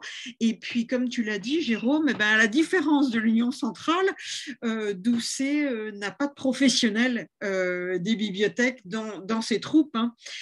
Et d'ailleurs, quand René Jean est débauché par Doucet, Gaston Brière, donc, qui est conservateur à Versailles et qui est représentant euh, des beaux-arts, de l'administration des beaux-arts euh, au conseil d'administration de l'UCAD et, qui est un ami de René Jean, enfin qui connaît bien René Jean, lui écrit que euh, il est très content pour lui, etc., mais qui pourra toujours s'adresser à son successeur, Paul Cornu, pour savoir comment on classe les ouvrages et les, systèmes en cours. Donc, on, voit, je trouve que c'est très intéressant cette interaction qui a pu exister entre les différentes euh, institutions. Ce qu'on pourrait dire euh, aussi, c'est que ce qu'on aimerait euh, peut-être connaître, c'est dans quelle mesure les systèmes de classification ont pu prendre en compte, même si on comprend qu'à l'époque ils étaient très hétérogènes, ont pu prendre en compte aussi une publication comme celle d'Ernest Vinet, qui était conservateur de la bibliothèque de l'école des beaux-arts et qui en 1974 fait, publie cette première bibliothèque biographie en fait euh, d'histoire de l'art, mais effectivement euh, uniquement le premier volume. il a publié seulement le premier volume, mais ça, serait intéressant de savoir dans quelle mesure, voilà, il y a, une certaine perméabilité entre cette bibliographie, les systèmes de classification, mais aussi euh, les pratiques de, des historiens de l'art à l'université ou ailleurs. Voilà ce que je pouvais dire. Peut-être que Stéphanie, vous voulez ajouter un mot de conclusion Juste dans la lignée euh, de, ce que vous dites, je, pense qu'il y, a un décalage effectivement dans le temps entre la bibliothèque de l'Union centrale et, celle qui, est créée par euh, Doucet. Euh, nous, on ne trouve quand même pas à la bibliothèque de, l'Union centrale Laure a évoqué la professionnalisation qui démarre avec l'installation de Rivoli finalement. Et on se rend compte que euh, c'est à ce moment-là, avait le projet d'établissement de catalogue, du, catalogue général, euh, que la question euh, d'une forme de normalisation et d'harmonisation est posée. Et c'est Laure qui évoquait tout à l'heure l'intervention de Paul Cornu en 1912 au congrès annuel des bibliothécaires. Ce n'est pas anodin non plus que ce soit à ce moment-là. Euh, qu'on intègre des réseaux, puisque les bibliothèques travaillent en réseau depuis déjà un certain temps à cette époque. Et euh, le premier outil des bibliothécaires qu'on a retrouvé euh, en termes de, voilà, d'outils de travail, c'est la publication des règles et usages observés dans les principales bibliothèques en matière de classement, de catalogue d'auteurs, etc., de 1913, publié par l'ABF de l'époque. Et avant, bah, on a l'impression que oui, euh, voilà, chacun euh, fait un peu euh, comme il peut. Alors, il y a des, fichiers qui commencent à se constituer, mais tout ça se met en place véritablement à ce moment-là. Donc, ce qu'explique Jérôme sur les trois systèmes de cotation avant 14, ça, ça, paraît beaucoup, mais je pense qu'on est effectivement dans l'expérimentation beaucoup et que ça n'est qu'après que la professionnalisation se met en place il n'est que voir pour euh, la bibliothèque de l'UCAD que différents outils du type euh, les, listes d'ouvrages manquants, des listes de livres précieux qui seront le noyau de la réserve ensuite, etc., ne, sont établis qu'au début des années 30. 1930. Avant, euh, ben voilà, la bibliothèque, elle vit sa vie. Il y a peut-être des choses qui disparaissent, on ne sait pas trop. Il y a peut-être des choses qui partent chez des collaborateurs de la bibliothèque. Je, trouve ça très intéressant, Jérôme. On en trouve trace. C'est quand même très intéressant qu'on en trouve trace pour le coup. Euh, ça montre quand même euh, une, gestion attentive de la collection. Euh, qui n'existait pas forcément dans, les premières années euh, de la bibliothèque de, l'Union centrale, puisqu'on sait que dans les, premiers titres, il y a des choses qu'on ne retrouve pas non plus, comme vous. Euh, pour le coup, on ne sait pas s'ils sont partis chez M. Massier ou autre. Donc, non, je, je, trouve qu'un bon moyen de conclure serait presque de revenir à la frise chronologique que vous nous avez proposée au départ, pour essayer, avec tous ces éléments qu'on a évoqués, de les replacer et voir si euh, voilà, ces phénomènes de construction et de professionnalisation qui se mettent en, œuvre. Voilà. Ça fait des, des chantiers ouverts pour la suite. Merci. En tout cas, euh, euh, euh, qu'est-ce que je voulais rebondir sur deux choses? Oui, c'est-à-dire effectivement, je trouve c'est très intéressant votre éclairage parce que ça et les éclairages des uns et des autres parce qu'effectivement dans cette période de tâtonnement, mais, chacun adapte finalement les systèmes par rapport aux usages, aux demandes des lecteurs. Et du coup, à l'ABA, il s'adapte parce que c'est une bibliothèque qui, est construite justement pour les chercheurs, pour les historiens de l'art, et les solutions sont différentes de celles peut-être euh, développées à, l'Union centrale. Et puis je rebondissais sur cette histoire. Euh, alors effectivement, les livres chez les chez les, les, collaborateurs, bon, ma foi, on connaît ça aussi des fois. Euh, notre époque. Mais par contre, non, non, je rebondissais sur euh, euh, la salle Giraudy. Euh, c'est une chose qu'on a pu aussi constater lors de la première séance avec l'exemple d'Espérandieu et, et, que Espérandieu était effectivement installé dans une salle avec autour de lui les ouvrages qu'il avait cédés à la bibliothèque, ses papiers, enfin les manuscrits, qui avaient d'ailleurs qui répondaient au même système de cotation. Donc on est bien dans l'univers d'un chercheur éventuellement collaborateurs, éventuellement fournisseurs, enfin voilà, avec une certaine perméabilité des, catégories, mais qui est bien agréable euh, euh, pour, par rapport à, des fois le développement euh, très rigide que l'on a pu constater au cours du XXe siècle. Alors, il, il a sur les, publics est très intéressant. Je, je serais très intéressée aussi d'un travail de pousser un peu qui fréquente cette bibliothèque d'art et et euh, parce que le travail que, Laure a fait un petit peu sur euh, les sources dont nous disposons montre qu'effectivement, euh, même au moment de l'installation de Rivoli, si les publics changent, on continue à alimenter la collection iconographique beaucoup. On commence vers 1908-1909 seulement à travailler sur les lacunes de la collection de livres, mais jusqu'à cette date, on est quand même dans l'accumulation des images. Et le fait que les publics changent fait que la bibliothèque change, peut-être un peu tard pour le projet qu'avait Doucet. Enfin, moi, j'aimerais bien que là, je, trouve qu'il y a quelque chose d'intéressant. Je ne sais pas si des sources encore à, découvrir, mais vous avez déjà vu beaucoup de choses. Et je, trouve que là, il y, a, une dimension, un point d'interrogation, euh, peut-être, à lever un jour. Merci, merci en tout cas pour euh, cet échange. Très intéressant. Euh, oui, j'avais juste euh, une, deux remarques. Enfin, une première remarque tout à l'heure à propos du personnel. en 1885, on a une liste des bibliothécaires et on se rend compte qu'en fait, nous, à la bibliothèque, ils ont quand même chacun vraiment une attribution. Ils ont chacun des rôles assez précis, euh, justement un petit peu en opposition à ce que disait Jérôme, où en fait euh, chacun traite son fond. Nous là vraiment, on sait que euh, donc il y a donc je parlais de ce fameux Monsieur Bézier qui donc dès 85 est chargé de la rédaction du catalogue. Donc on peut penser qu'il y a une seule main qui va faire justement qui va donner peut-être les cotations, qui va faire faire la liste, faire faire le ranger le livre. Qu'il y en a un qui est chargé de rédaction des statistiques, qu'il va y avoir un surveillant qui est chargé de la distribution des livres et du rangement du soir, et un gardien qui, lui, va s'occuper du rangement des livres le jour. Donc, on a vraiment un partage des tâches qui est quand même vraiment bien, bien défini. Et une autre chose, donc toujours à propos un peu du changement des publics et, toujours sur cet article donc, de Paul Cornu qui est vraiment extrêmement intéressant, à un moment il dit que euh, comme il y a un nouveau public, en fait, a la seule, euh, la, seule réserve qu'il fait sur la collection iconographique, c'est l'absence de source, puisqu'en fait, euh, les, images découpées, très très rarement, il est mentionné d'où elles proviennent. Et que bah, M. Jules Massier, il y a eu des remarques qui lui ont été faites et qu'à partir d'un certain moment, il va ajouter la source du document. Et je pense que vraiment, cette remarque, elle est faite avec un changement de public. C'est-à-dire qu'en fait, on se rend bien compte qu'il y a très très peu de documents qui, sont sourcés. Et souvent, en plus, c'est après le, après, après le décès de Massier, après 1911. Et souvent, en plus, ce sont des documents qui proviennent par exemple de catalogues de vente aux enchères, dont on sait qu'on a des doubles dans les collections.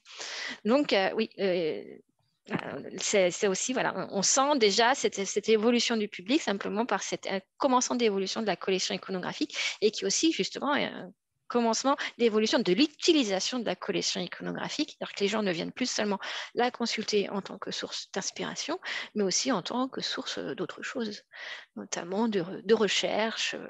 Ils ont besoin d'avoir euh, un écrit à côté de l'image. Jérôme? Euh, oui, pour, ce qui est du public de la bibliothèque, en principe, ça. Oui, pardon, vous m'entendez pas? Si. Pour, ce qui est du, du, du, pardon, du public de la bibliothèque d'art et d'archéologie, en principe, on est bien outillé puisqu'on a le, les, fiches, les fiches des lecteurs hein, avant, avant 14. Alors, je ne me souviens plus, j'avoue, euh, des conclusions qu'on avait pu en, tirer, mais il me semble que la proportion d'artisans est quand même très faible, hein, il me semble. Hein. Donc, on est quand même plutôt sur une bibliothèque érudite. Euh, et, l'autre point, c'est sur la question de la professionnalisation. Euh, la bibliothèque en était parfaitement, était parfaitement consciente du problème, puisque euh, André Joubin, donc directeur à partir de 1919, euh, fait un mea culpa assez lourd dans les années 20, en disant que pour le reclassement de la bibliothèque, on a fait intervenir des bibliothécaires diplômés, hein, il emploie l'expression, et donc, c'est une façon en creux de dire qu'effectivement, les choses n'étaient pas faites de façon très, très euh, solide jusque-là. Moi, j'avais juste une question qui est probablement un peu naïve, mais euh, en travaillant sur euh, la, préparation de la, de la, séance sur la topographie, je me demandais quelle pouvait être l'articulation entre le documentaire et le patrimonial, dans le sens que, par exemple, le livre de fête, surtout les entrées parisiennes, euh, rentrer tout à fait euh, dans une dynamique d'étude de, la topographie. Euh, est-ce que un chercheur lambda, il pouvait être adressé à ces gens de matériel, pas du tiroir topographie, parce que je suis allée voir et il n'y a pas de, renvoi vers les livres de fête, mais quelle relation avait, disons, la réserve avec les autres collections?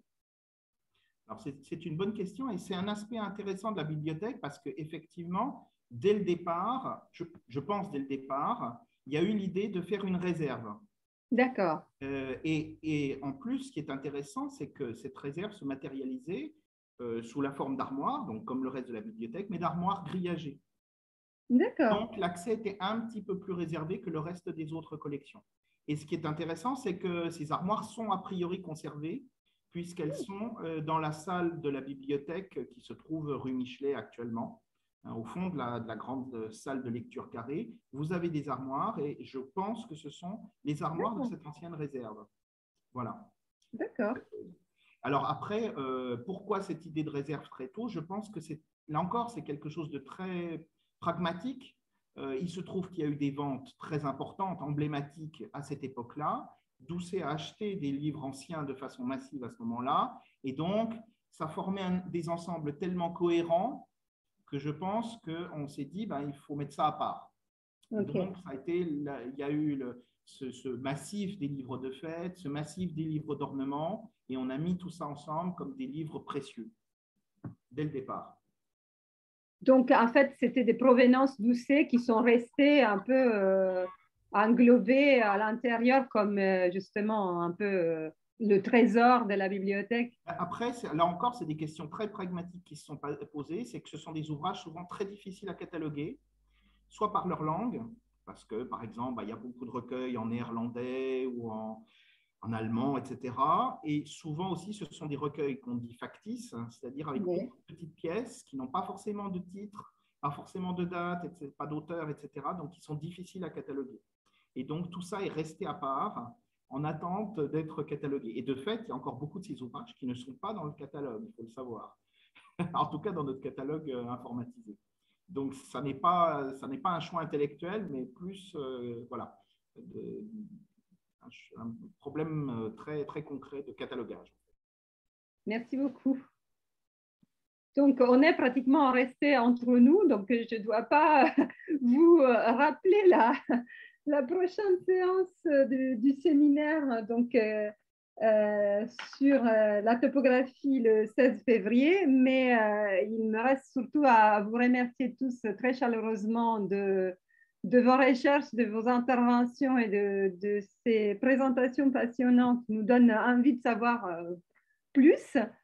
et donc, je laisserai peut-être à, Marianne euh, le rôle de, d'en tirer des, jolis billets pour euh, de recherche. Ben, oui, je, me joins à Hilaria pour euh, euh, vous remercier, euh, les collègues et, notamment évidemment Jérôme avec lequel je discute depuis longtemps et très régulièrement de ce sujet, et évidemment nos collègues de, du MAD. J'ai toujours une hésitation entre l'Union centrale des arts décoratifs et, aussi. le MAD, et la discussion était vraiment très intéressante déjà quand on s'est rencontrés précédemment, et merci de, vos contributions. J'ai cru comprendre qu'il y avait deux, trois difficultés, notamment moi j'avais un, réseau instable alors que j'étais en filaire. Là, je suis passée ensuite, mais malheureusement après la communication en, sans fil et, ça a l'air tout à fait stable. Donc, euh, et puis on, entendait, mais, un peu lointain, euh, la parole de Jérôme. Donc, euh, à l'attention des auditeurs, on, on, fera en sorte, merci de votre patience et on fera en sorte de résoudre ces questions avant de diffuser la captation. Et puis, un grand merci aussi au service des manifestations qui nous accompagnent euh, dans tout ça. Euh, on est très bavards tous, euh, donc les séances de ce séminaire sont toujours très longues. Et on vous remercie pour votre patience et, d'être fidèle au, fur et à mesure de ces belles séances de séminaire. Donc, bonne soirée à tous et au plaisir de poursuivre ces discussions dans un autre, une autre occasion ou dans un autre cadre. Bonne soirée. Merci beaucoup. Merci, au revoir, à bientôt. Merci, bonne soirée, à bientôt.